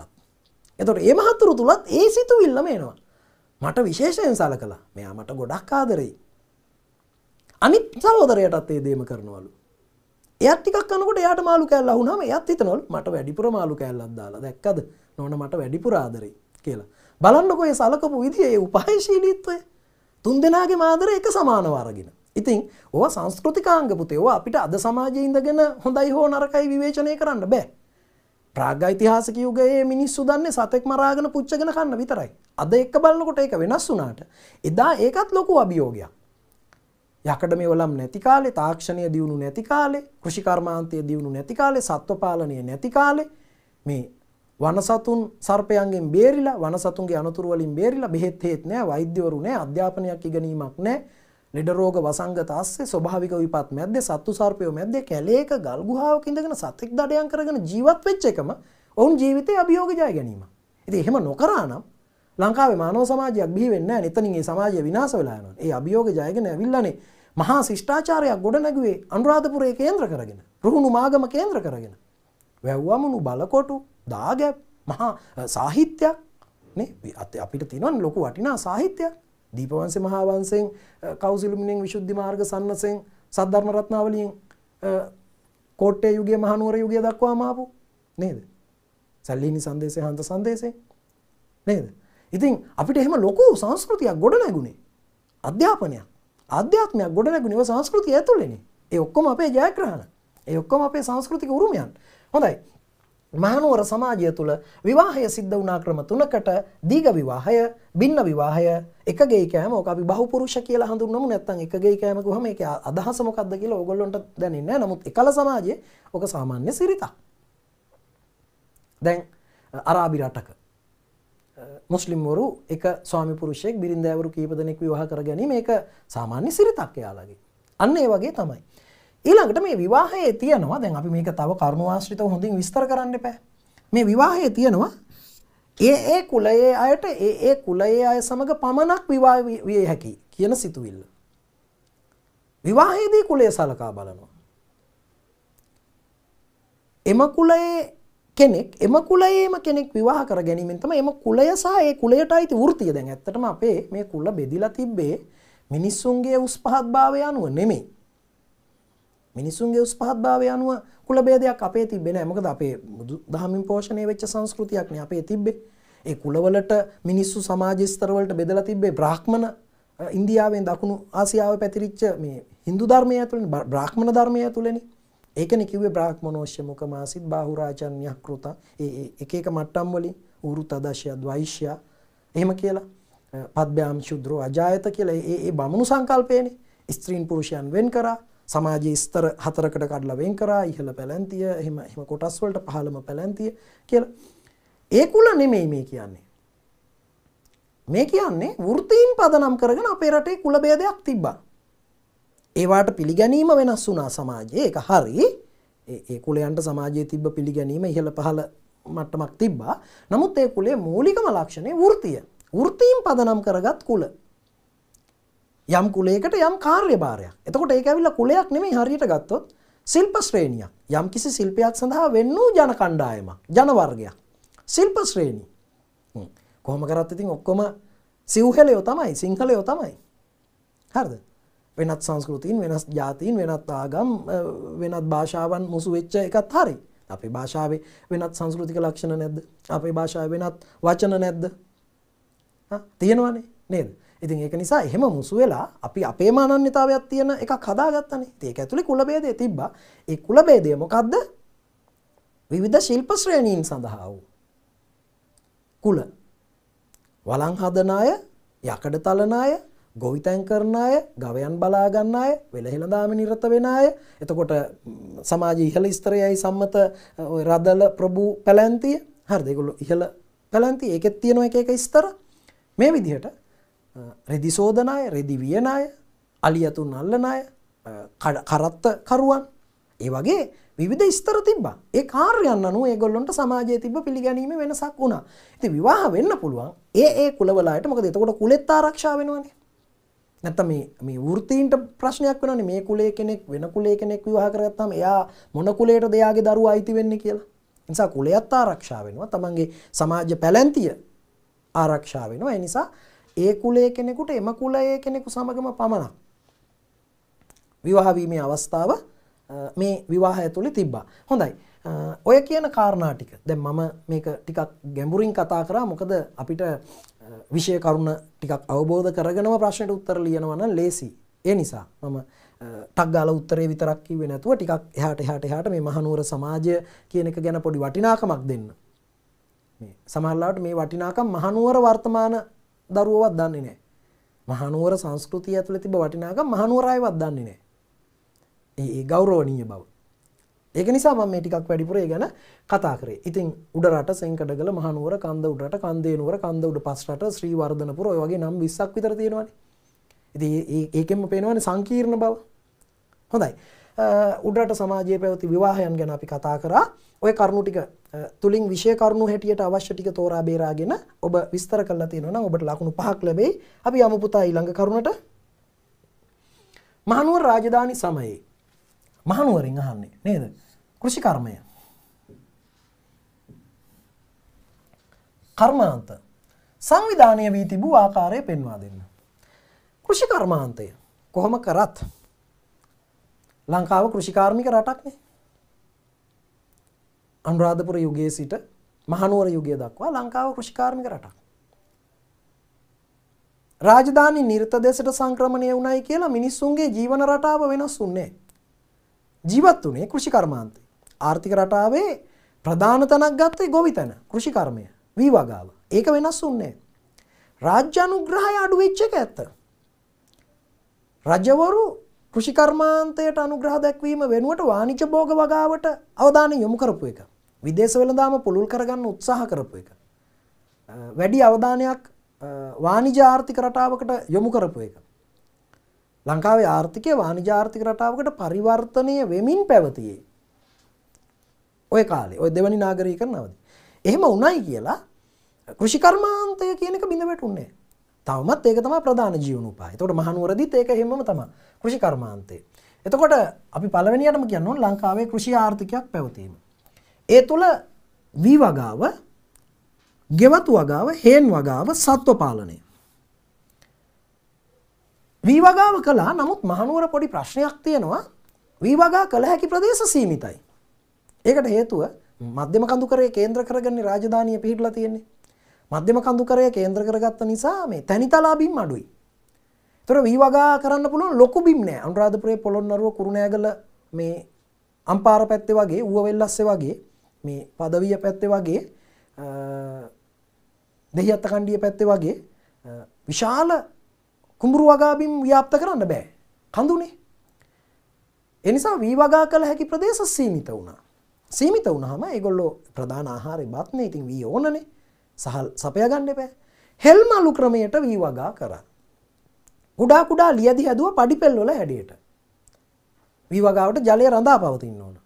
බැව් මේ ජලය රඳා පවතින්න බැරි නිසා කඳු වැටිය මෙහෙම කඳු වැටියක් තියෙනවා මේ කඳු වැටිය මෙන්න මේ ආකාරයට ලියදි හදාගත්තා. මේක පඩිපෙල් වගේ. මේ පැත්තේ වතුර රැඳෙන්නේ නැහැ මේ බෑවුම මේ. හැබැයි මේ පැත්තේ බලන්නකෝ. මේ පැත්තේ මේ වතුර රැඳෙනවා මේ ලියදි හදාගෙන තියෙන්නේ. ඒවැ තමයි වී වගා කරන්නේ. හෙල්මලු ක්‍රමයට වී වගා කිරීම. රයිට් වී වගාවට තිබ්බ බාධාව මොකද්ද පුතා කඳුනේ එතකොට වී වගා කළ හැකි ප්‍රදේශ සීමිත වුණා. ඉතින් උඩරට රාජධානියට අයිතිනේ නුවර කලාවියට යනකම්. ඒ කිව්වේ නුවර වැව කලාවැව පදවිය වැව කියන කොටස අද වර්තමාන කිව්වොත් අපිට ඔය ටික කියන්න පුළුවන් උතුරු මැද පළාත. අතීතේ රජරට. ඒ අතීතයේ රජරට අනුරාධපුරයේ පොළොන්නරුව යටතේ තිබ්බ ටිකක් දැන් මහනුවරට අයිති. ඊළඟට ඌවවෙල්ලස්ස රුහුණු මාගම යටතේ තිබ්බ ටිකක් දැන් මහනුවරට අයිති උඩරටට අයිති. ඒ භූමියත් උඩරටට අයිති. දැන් ඒවැ රාජධානි නෑනේ. ඒ ඔක්කොම දැන් උඩරට රජු විසින් පාලනය කරන්නේ. එහෙමනම් එහෙ වී වගා කරන්න පුළුවන්. ඒ භූමිය තියෙනවනේ උඩරටට අයිතිනේ. පෘතුගීසින් ඇල්ලුවේ මුහුද වටේ පටිය විතරනේ. ලන්දේසින් ඇල්ලුවේ මුහුද වටේ පටිය විතරනේ. මුහුදු බඩ විතරනේ. ඇයි ඒව වී වගා නොකළේ? ආ පුතා අන්න කාලයක් මේවා මොකක් වීමෙන්ද? කාලයක් මේවා අතහැර දමා තිබ්බා. කාලිංග මාග ආක්‍රමණයෙන් පස්සේ පොළොන්නරුව බිඳ වැටුණා ඊට පස්සේ අපේ රජරට වාරිමාර්ග පද්ධතිය නඩත්තු වුණේ නැහැ ජන ශූන්‍ය වුණා. ඒ නිසා රජරට සහ රුහුණු රට උඩරටට අයිති වුණාට උඩරට රජවරුන්ට ඒවායේ වගා කිරීමට ජල ප්‍රශ්නේ තිබ්බා. වාරිමාර්ග විනාශ වෙලා නිසා ජලය සපය ගන්න බැරි වුණා. ඒ නිසා ඒවැ වගා කරන්නත් බෑ. ඒ නිසා වී වගා කිරීමේදී සීමා සහිත භූමියක තමයි වී වගා කරලා දෙන්නේ. හැබැයි හේන් වගාවට එහෙම වතුර ඕන නෑ. වර්ෂා කාලයකදී ගොවිතැන් හේන් වගාව පටන් ගත්තාම කුඹුරු වල වගේ වී වගාවේ වගේ වතුර ඕනේ. වී වගාව කියන්නේ මඩ ගොවිතැනනේ. හේන් වගාව කියන්නේ ගොඩ ගොවිතැන. ඒ නිසා ගොඩාක් උඩරටට අයිති භූමිවල හේන් වගාව සිද්ධ වෙලා තියෙනවා. හේන් වගාව. ඒ එක්කම කෘෂි අවශ්‍යතා සඳහා කුඹුරු හාන්න, ගොයම් පාගන්න, ගවයන්ගේ ශ්‍රමය ලබා ගත්තා. ඒ නිසා සත්ව පාලනය සිද්ධ වුණා. කෘෂිකාර්මික කටයුතු වලදී ගවයාගේ ශ්‍රමය අවශ්‍යයි. බානෙන් බැඳ රජ රට පෙදෙසින්නේ කියලා සින්දුවක් තියෙන්නේ. ගවයන් ගෙන්නගෙන කුඹුරු හාන්න ගවයන් එකතු කරගත්ත මී ගවයන් අර සිරිපැරකුම් චිත්‍රපටියේ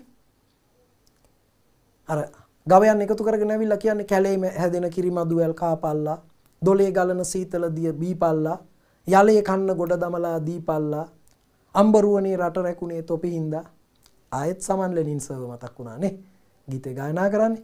හොඳයි. ඉතින් මේ ශ්‍රමය හැටියට ගවයන්ගේ ශ්‍රමය දායක කරගෙන තියෙනවා කෘෂිකාර්මික කටයුතු වලට අනිත් එක ප්‍රවාහන කටයුතු උඩරට සම්පූර්ණයෙන්ම මඩිගේ කියලා කාර්යාංශයක් තිබ්බා. උඩරට මහබද්ධ සංවිධානය. ඒ කියන්නේ උඩරට අද වචනෙන් කියනවා නිකන් කැබිනට් මණ්ඩලය වගේ තමයි මහබද්ධ සංවිධානය. උඩරට රාජ්‍යයේ ප්‍රධාන කර්තව්‍යයන් ටික. දැන් ලංකාවේ වර්තමාන රජයේ කාර්යයන් බෙදලා තියෙන කැබිනට් මණ්ඩලයේ ඇමතිවරුන්ට අධ්‍යාපන සෞඛ්‍ය ප්‍රවාහන මහා මාර්ග විදේශ කටයුතු මුදල් ආරක්ෂක එහෙම බෙදලා තියෙනවනේ අමාත්‍යාංශ ඒ වගේ තමයි මහබද්ධ සංවිධානය කියන්නේ නිකන් කැබිනට් මණ්ඩලය වගේ තමයි එතකොට මඩිගේ සංවිධානය කියන්නේ සම්පූර්ණයෙන්ම මඩිගේ කාර්යාංශය කියන්නේ කරත්ත කටයුතු. ඒකෙදී ගවයන් තමයි යොදාගත්තේ. ඒ සඳහා ප්‍රධානියෙකුත් හිටියා මඩිගේ ලේකම්වරයෙක්. හොඳයි. දැන් බලන්න එහෙනම් සත්ව පාලනය සිද්ධ වෙලා තියෙනවා කෘෂි අවශ්‍යතා සඳහා කරත්ත මගින් භාණ්ඩ ප්‍රවාහනය සඳහා තව වැඩකට. ඇයි කිරි ලබා ගැනීමට? දැන් කාලේ වගේ කඩෙන් ගිහින් කිරි පිටි ලබා ගන්න නෑනේ. කිරි ලබා ගැනීමට ප්‍රවාහන කටයුතු වලට කෘෂිකාර්මය සත්ව පාලනය කෘෂිකර්මාන්තයේ කොටසක් උඩරට දක්නට ලැබෙනවා. දැනුත් කුඹුරු හාන්නේ උඩරට තියෙන පුංචි පුංචි කුඹුරු වල මං කිව්වා දැනුත් තියෙන්නේ පුංචි කුඹුරු මං කලිනුත් කිව්වේ ලොකු කුඹුරු නෑ. අනුරාධපුරයේ පොළොන්නරුවේ කුරුණෑගල වගේ. පුංචි කුඹුරු හාන්නේ තවමත් මේ ගවයන්ගේ ආකාරයි. එහෙමනම් සත්ව පාලනය සිද්ධ වෙලා තියෙනවා. හේන්ගොවිතැන ගැන මං කතා කරා, වී වගාව ගැන කතා කරා, ගෙවතු වගාව. ගෙවතු වගාව කියන්නේ තමන් ඉන්න ඉඩම තියෙන්නේ. හේන වෙනයි කුඹුර වෙනයි. තමන් ගේ හදාගත්ත ඉඩ කඩම තමන් පදිංචි වෙලා ඉන්න ගේ තියෙන කොටස ගෙවත්ත. ගෙදර තියෙන වත්තේ. තමන් පදිංචි වෙච්ච ඉඩමේ. ගෙදර ඉඩම. ගෙදර තියෙන ඉඩමේ. ගෙවත්තේ. කොස් ගහක් දෙකක් දෙල් ගහක් ගම්බිරිස් පැලයක් කරාමු නැටි ගහක් ඉඟුරු ටිකක් කහ ටිකක් එලෝලු පළතුරු ටිකක් අන්න ඒ වගේ දේවල් ගෙවත් එම තිබ්බා. ඒ මූලික අවශ්‍යතා ගොඩක් ගෙවත්තෙන් ඉටු කරගන්න පුළුවන්. දැන් උඩරට ආර්ථිකය ගැන මෙතෙන්දි කියනකොට අපිට ස්වයංපෝෂිත ආර්ථිකයක් කියන එක කියන්න ඕන. තම වටපිටාවෙන් තම අවශ්‍යතා ඉටු කරගත්තා. ඒක ඊටාම වැදගත් උඩරට ගැන කතා කරනකොට. තම තමන්ගේ දේවල් හුවමාරු කරගත්තා. අත්තම් ක්‍රමයට වැඩ කරා. වැඩ ටික එකතු වෙලා කර ගමේ පොදු වැඩ ටික එකතු වෙලා කරගත්තා. ගමේ ඔක්කොම එකතු වෙලා ගොයන් කපනවා. ගමේ ඔක්කොම එකතු වෙලා පොදු වැඩවලට දායක වෙනවා. වැඩ ටික බෙදාගෙන කරගත්තා. එක්කෙනා හැමෝටම උදව් කරනවා. එකා සැමට ගමේ. හැමෝම මටත් උදව් කරනවා. හැමෝම එකාට උදව් කරනවා. මගේ වැඩටත් ගමේ ඔක්කොමලා එනවා දානයක් මානයක් තියෙනකොට. මමත් ඔක්කොගෙම වැඩට යනවා. එකා සැමටත් සැම එකාටත්. ඉතින් පුතා මහනුවර තිබ්බ කෘෂිකර්මාන්තය ගැන කියනකොට අත්තම් ක්‍රමය යොදාගත්ත බව ඉතාම වැදගත්. ඔය තියෙන්නේ. ගෙවත්තේ Tamanට අවශ්‍ය භෝග වගා කරගත්ත ගෙවතු වගාව. ඊළඟට කර්මාන්ත ගැන ඒ කෘෂිකර්මය බී කර්මාන්ත සංවිධානය තිබූ ආකාරය පෙන්වා දෙන්න ප්‍රශ්නය හොඳට කියව්වද දූල පුතාලා මේ බලන්න පුතේ දුවේ කෘෂිකර්මය ගැන කිව්වා. දැන් කර්මාන්තවලට එමු. කර්මාන්ත. කර්මාන්ත පවත්වාගෙන ගියේ කුල ක්‍රමය අනුව. එක එක කර්මාන්ත තිබ්බා. ඒවාට අයිති කුලත් තිබ්බා. දැන් ඔය සමහර මහනුවර පැත්තේ ගියාම මම ඔය සමහර මේ පාරම්පරික කර්මාන්ත සහ ඒ ශිල්පීන් හොයාගෙන යන්න මහන්සි වෙනවා. මහන්සි වුණාම සමහර අපි එක්ක යන කට්ටිය කියනවා අනේ මෙන්න මෙහෙට එන්න. මම ඇයි ඉතින් පොඩ්ඩක් අර මේ වැඩේ කරන හැටි බලන්න එතන කොහොමද මේ යකඩ තලන්නේ? කොහොමද එතන මේ මේ කර්මාන්තය කරන්නේ කොහොමද එතන මේ මෙන්න මෙහෙට එන්න. ඒ කියන්නේ සමහරු කැමති නෑ මොකද ඒගොල්ලෝ හිතන් ඉන්නේ ඒක මේ ඒවා අයිති වෙනම කුලවලට කියලා නෑ. ඒවා අපේ සංස්කෘතියින්. ඒවා අපේ සංස්කෘතින් ඒවැන් තමයි මේ මේ හැමදෑම එකතු වෙලා තමයි උඩට පෝෂණය වුණේ පම් පැදුරු කර්මාන්තේ ඉඳලා ඇද්දත් කැටයම් කර්මාන්තේ ඉඳලා යකඩ නිෂ්පාදනයේ ඉඳලා. ලුණු වැඩි මේ මේ වෙඩි බෙහෙත් අපි කියන්නේ වෙඩි ලුණු කියලා. වෙඩි ලුණු. අපිට තිබ්බේ නැහැනේ චීන වගේ වෙඩි බෙහෙත්. අපි ඒ වෙනුවට භාවිතා කරපු දෙයක් තියෙනවනේ. අර ගල් ගුහාවල වවුල් වසුරු වලින් හැදිච්ච මීතෙන් එක්ක මිශ්‍ර වෙච්ච මේ වෙඩි බෙහෙත් වර්ගයක් නේ අපි පාවිච්චි කරේ. එතකොට පිත්තල භාණ්ඩ කර්මාන්තය ලාක්ෂා කර්මාන්තය උඩට තිබ්බ කර්මාන්තනේ මැටි බඳුන් කර්මාන්තය. ඉතින් ඕව තමයි උඩට තිබ්බ කර්මාන්ත. මේ බලන්න. ඒවාට විවිධ ශිල්ප ශ්‍රේණි හිටියා. ඒවට තමා මේ කුලානුව කර්මාන්ත සංවිධානය වී තිබීම. විවිධ කර්මාන්ත පැවතීම. කෘෂි උපකරණ තැනීම කැත්ත උදැල්ල නගුල තාච්චිය කෘෂි උපකරණ ඒකෙම ආයුධක් තියෙනවා. ඇයි? රජවරුන්ට යුද්ධ කරන්න කඩුව දුන්න හෙල්ල ආ යකඩ කර්මාන්තය කම්මල් කර්මාන්තය කබොර වලන් නිපදවීම එකවේ කුඹල් කර්මාන්තය රිදිවිවීම ආභරණ තැනීම පිත්තල බඩු. දැනුත් තියෙන්නේ? පිත්තල බඩු කොහෙත් තියෙන්නේ?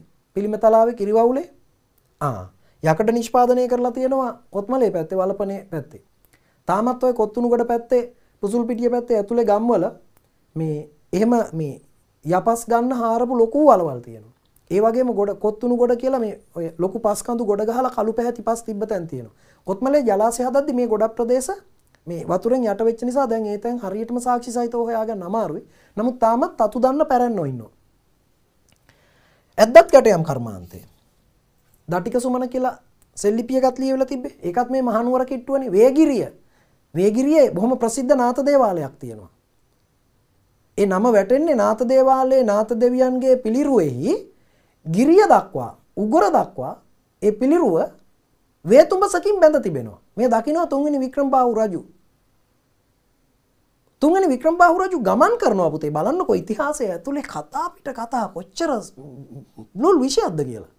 විෂය කරුණක් උගන්වන්න ගියාම ඒක ඇතුලේ හරි රසවත් කතා තියෙනවා. එතකොට මේක කතාවක් වගේ අහගෙන ඉන්න පුළුවන්. එතකොට විෂයක් ඉගෙන ගත්තා කියලා දැනෙන්නේ නැහැ. කතා ටිකක් අහන් හිටියා. හරි ලස්සන කතා ටිකක්. පුදුම සිද්ධි ටිකක් ඉතිහාස කතාවල තියෙන්නේ. ඒ ටික අහන් හිටියා දන්නේම නැතුව විෂයත් ඉගෙනගෙන කතාවක් වගේ ඉගෙන ගත්ත හින්දා මතකයක් තියෙනවා ආසාවක් ඇති වෙනවා එපා වෙන්නේ ඉවර කරන්න කිට් වෙනකොට ළමයි කියනවා සර් තව පැයක් විතර කරමු 10ට ඉවර කරන්න හදනකොට 12 වෙනකම් කරමු කියන 12ට ඉවර කරන්න හදනකොට 1 වෙනකම් කරමු කියන ඇයි මේ රසවත් සිද්ධිත් එක්ක කවදාවත් ඉතිහාසය විශේෂපා වෙන්නේ නැහැ නේ පුතේ. නේද? දැන් රජතුමා දැන් මේ බලන්නකො කර්මාන්ත ගැන කතා කරනකොට ඔන්න මේ වේගිරියේ මේ ඇද්දත් කැටයම් කර්මාන්තය ගැන සෙල්ලිපියක තියෙනවා. හැබැයි ඒක මහනුවර යුගයේ සෙල්ලිපියක් නෙමෙයි ගොඩාක් පරණ එකක්. නමුත් එහි සඳහන් වෙනවා එහෙම. ඉතින් දැන් ඒ එතෙන්ට නම වැටිච්ච විදිය නාත දේවාලයට නම වැටිච්ච විදිය ගැනත් ඔන්න ලස්සන කතන්දරයක් තියෙනවා. තුන්වෙනි වික්‍රමබාහු රජතුමාගේ මගුල් මඩුව ලෙස භාවිතා කර තිබෙනවා වර්තමාන ඇම්බැක්කේ දේවාලය. ඒ පසුව මං හිතන්නේ කතරගම දෙවියන් වෙනුවෙන් පුද කරපු පුදබිමක් හැටියටයි සඳහන් වෙන්නේ. ඉතින් රජු මෙහි යනකොට ඇතාගේ ගමන අඩාල වෙනවා කිසියම් හේතුවකින්. ඒක මොකද්ද හේතුව දන්නේ අදෘශ්‍යමානයි.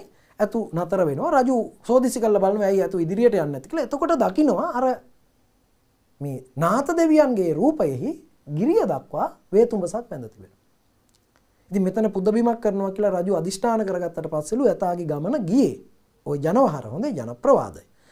ඉතින් නාත දේවාලයේ නාත දෙවියන්ගේ පිළිරුවෙහි ගිරිය දක්වා වේතුඹසක් බැඳ තිබූ බැවින් එය වේගිරිය දේවාලය බවට පත් වුණා. වේගිරිය නාත දේවාලය. ඔය දළදා මාලිගාවට අයිති පුදබිමක් ලොකු පෙරහැරක් එහෙම තියෙනවා. හොඳයි. ඉතින් වේගිරියේ සෙල්ලිපිය ගැන අපි දන්න නිසාත් මහනුවරට ආසන්නයේ නිසා ඔය මහනුවර ඉඳලා ගම්පල පැත්තට යනකොට ගෙලියෝයෙන් බූ වැලි කඩින් ඒ ඔය ගම්හත කියලා පාරක් තියෙනවා. ඒ පැත්තෙන් ගම්පලින් එහෙම ඔතෙන්ට යන්න පුළුවන්. මහනුවර ගම්පලට ඉතාම ආසන්නයි. ගම්පල රාජධානි සමයට අයිති වේගිරිය දේවාලය හොඳයි. ඊළඟට මහනුවර මැණික් පම්පැදුරු යකඩ කර්මාන්තය. ලාක්ෂා මෙතන ලියන්න අමතක වෙලා නේද? ආ අපි ලියමු. උඩරට තිබ්බ තව කර්මාන්තයක් තමයි ලාක්ෂා කර්මාන්තය. මොකද පුතා ලාක්ෂා කියන්නේ? අර ලස්සන විසිතුරු භාණ්ඩ හදන්නේ විවිධ මංජු සායෙම පුංචි පුංචි කැටයම් යොදලා විවිධ වර්ණ යොදලා හැඩතල යොදලා. මේ මහනුවර යුගයේ රජතුමාගේ බිසවගේ පනාව පවා ඇද්දත් කැටයම්. ඒ තරම් ප්‍රචලිත වෙලා තිබෙනවා. හොඳයි අපි ඇතිවෙන්න මහනුවර යුගයේ කර්මාන්ත ගැන කතා කරා ඔය ඕවෙන් ගන්න පුළුවන් හොඳ කරුණු ටිකක් ඔය කරුණු ටික එකතු කරගෙන ඔබට උත්තර ලියන්න පුළුවන්. මේ හැම එකක්ම පාරම්පරික ශිල්පීන් විසින් කරගෙන ආපු කර්මාන්ත. බෙර හදන එක. නර්තන කටයුතු සඳහා විවිධ බෙර වර්ග, දවුල, ගැට බෙරය, තම්මැට්ටම ඒවත් කර්මාන්ත. ඒවත් තිබ්බා උඩරට. ඉතින් උඩරට මෙවැනි කර්මාන්ත රාශියක් තිබ්බා. රොබට් නොක්ස්ගේ එදා හෙළදිව පොතේ උඩරට පැවති කර්මාන්ත ගැන සඳහන් කරනවා. ඒ වගේම ඒවා දියුණු කරගත්තොත් සිංහලයාට මීට වඩා ඉහළ තැනකට යා හැකි බවත් මේ කර්මාන්ත දියුණු කර ගැනීමට ඔවුන් උනන්දු නොවන බවත් රොබට් නොක්ස් චෝදනා කරනවා එදා හෙළදිව පොතේ සිංහලයා ස්වභාවයෙන්ම අලස කම්මැලි ජාතියක් බවත්. ඇත්තනේ නේද ටිකක් කම්මැලි නේද අපි. ලෝකේ අනිත් ජාතීන් එක්ක හරි හරියට වැඩ කරන ජාතීන් ඉන්නවනේ. බලන්නකො ඊශ්‍රායෙල් කට්ටිය කඩිය වගේ වැඩ ජපන නේද? කොරියන් කාරයා හරි හරියට වැඩනේ නේද? ආ රුසියා රුසියන් කාරයා නිකනුත් අපි දක්ෂයෙක් දැක්කහම කියන්නේ මාර රුසියා කියලා. නේද? ආ සුද්දා වගේ කියන්නේ අපි සුද්දා වගේ කන්නේ සුද්දා වගේ වියදම් කරන්නේ නේ සුද්දා වගේ වැඩ.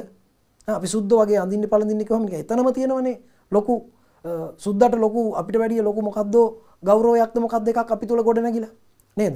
ඇයි එහෙනම් අපිට බැරි? නේද? අපි අතීතයේම විතරක් වර්ණනා කර කර ඉන්න ඕනද? අතීතේ මෙහෙම කරා මෙහෙම කරා අපි මෙච්චර ඉතිහාසයක් තියෙන නෑ ඒ ඒ දේ අපි දැන් අපත් කරගන්න ඕන. අතීතේ වර්ණනා කර කර ඉඳලා හරියන්නේ නැහැ. අමුතුවෙන් කොහෙන්වත් දියසෙන්ලා එන්නේ නැහැ. දියසෙන්ලා කියන්නේ ඕගොල්ලොම තමයි. මොකද ජපානයේ දියසෙන්ලාවේ ඇමරිකාවේ කාර්මික ඇමරිකාවේ නිදහස් වටනින් පස්සේ දියසෙන්ලාවේ රුසියාව මහ බලවතෙක් උනේ දියසෙන්ලා හිටියේ. ඉන්දියාව චීනය දැන් මේ ලෝකේ ඉතා ඉහළ මට්ටමක බලවත් රටවල් වෙලා තියෙන දියසෙන්ලා ඉඳලා නෑ නෑ දියසෙන්ලා කියන්නේ ඕගොල්ලෝ තුලින්ම තමයි දියසෙන්ලා බිහි වෙන්නේ. නැතුව මේ හිතේ මවාගත්ත කොහේ හරි දිව්‍ය ලෝකකින් පහළ වෙච්ච දියසෙන් කෙනෙක් කෙනකන් ඉන්න එපා. ඔබ දියසෙන් වෙන්න. ඔබ කියන්නේ තනි පුද්ගලයෙක්. හැබැයි ඔබ සියලු දෙනා උත්සාහ කරාම මීට වැඩිය ගොඩාක් හොඳ තැනකට අපිට යන්න පුළුවන්. කෑලි කෑලි වලට කැඩිලා රටවල් 360කට විතර බෙදිලා වෙන වෙනම තිබ්බ ප්‍රදේශ එකතු කරලා කොහොමද බිස්මාක් හදපු ජර්මනිය? අන්තිමට එවකට මහ බලවතුන් වූ බ්‍රිතාන්‍ය ප්‍රංශයට ලොකු අභියෝගයක් කරලා මහා බලවතෙක් වෙලා නතර වුණේ. දැක්කද? එකතු වෙලා හදපු ජර්මනි ජර්මනුව කිව්වහම කොහොමටත් දක්ෂයෝ?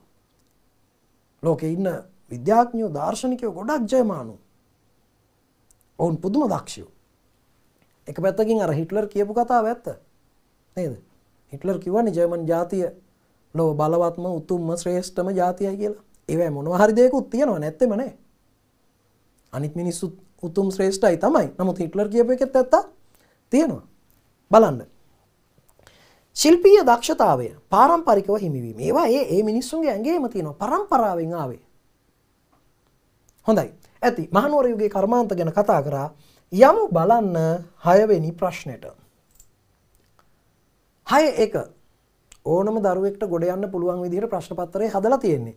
අපිට දැන් විවේක කාලයක් ලබා ගැනීමට අවස්ථාව ලැබිලා තියෙන නිසා විවේක කාලයක් අරගෙනම අපි හයවෙනි ප්‍රශ්නේ සාකච්ඡා කරමු.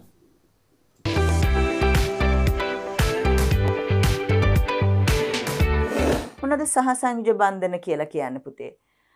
පරමාණු යුගලක් අතර ඉලෙක්ට්‍රෝන හවුලේ තබා ගනිමින් එම පරමාණු එකිනෙක හා බැඳීම සහ සංයුජ බන්ධනයක් ලෙස හඳුන්වනවා. දැන් අතෙන්දී ඉලෙක්ට්‍රෝන එක්කෙනෙක් පිට කරා අනිත් එක්කෙනා එක ලබා ගත්තා. ඒ දෙන්න අතර තමයි අර ස්ථಿತಿ විද්‍යුත් ආකර්ෂණ ඇති වුනේ. මෙතෙන්දී ඉලෙක්ට්‍රෝන පිට කරන්නෙත් නැහැ, ඉලෙක්ට්‍රෝන ලබා ගන්නෙත් නැහැ. එයාගේ තියෙන ඉලෙක්ට්‍රෝනත් එයා තියා ගන්නවා අනිත් එක්කෙනාගේ තියෙන ඉලෙක්ට්‍රෝනත් එයා තියා ගන්නවා හැබැයි දෙන්නගේ මේවා දෙන්නම සහයෝගයෙන් පාවිච්චි කරනවා අන්න ඒ වගේ හවුලේ තියාගෙන බන්ධනයක් හදනවා නම් අපි කියනවා ඒ වගේ එකක් මොකක් කියලාද සහ සංයුජ බන්ධනයක් කියලා කියනවා හරි පුතාලා. එතකොට එහෙනම් දැන් පුතාලට තේරෙනවනේ එතකොට සහ සංයුජ සංයෝගයක් කියන්නේ මොකක්ද කියලා. එතකොට මේගොල්ලොන් ඉලෙක්ට්‍රෝන හවුලේ තියාගෙනත් මොකද්ද බලාපොරොත්තු වෙන්නේ? ඒගොල්ලන්ගේ අවසාන කවචය එහෙම නැත්නම් සංයුජතා කවචයේ ඉලෙක්ට්‍රෝන ඒ කියන්නේ අෂ්ටකය සම්පූර්ණ කරගන්න එක තමයි එතන කරන්නේ. එතකොට අෂ්ටකය සම්පූර්ණ කරගෙන යා ස්ථායී වින්‍යාසයක් ලබා ගන්නවා. ඒ ස්ථායී වින්‍යාසය ලබා ගන්න මෙයා කරන උපක්‍රමය තමයි සහ සංයුජ බන්ධනයක් හදන එක. එහෙම නැත්නම් ඉලෙක්ට්‍රෝන හවුලේ තබා ගන්න එක.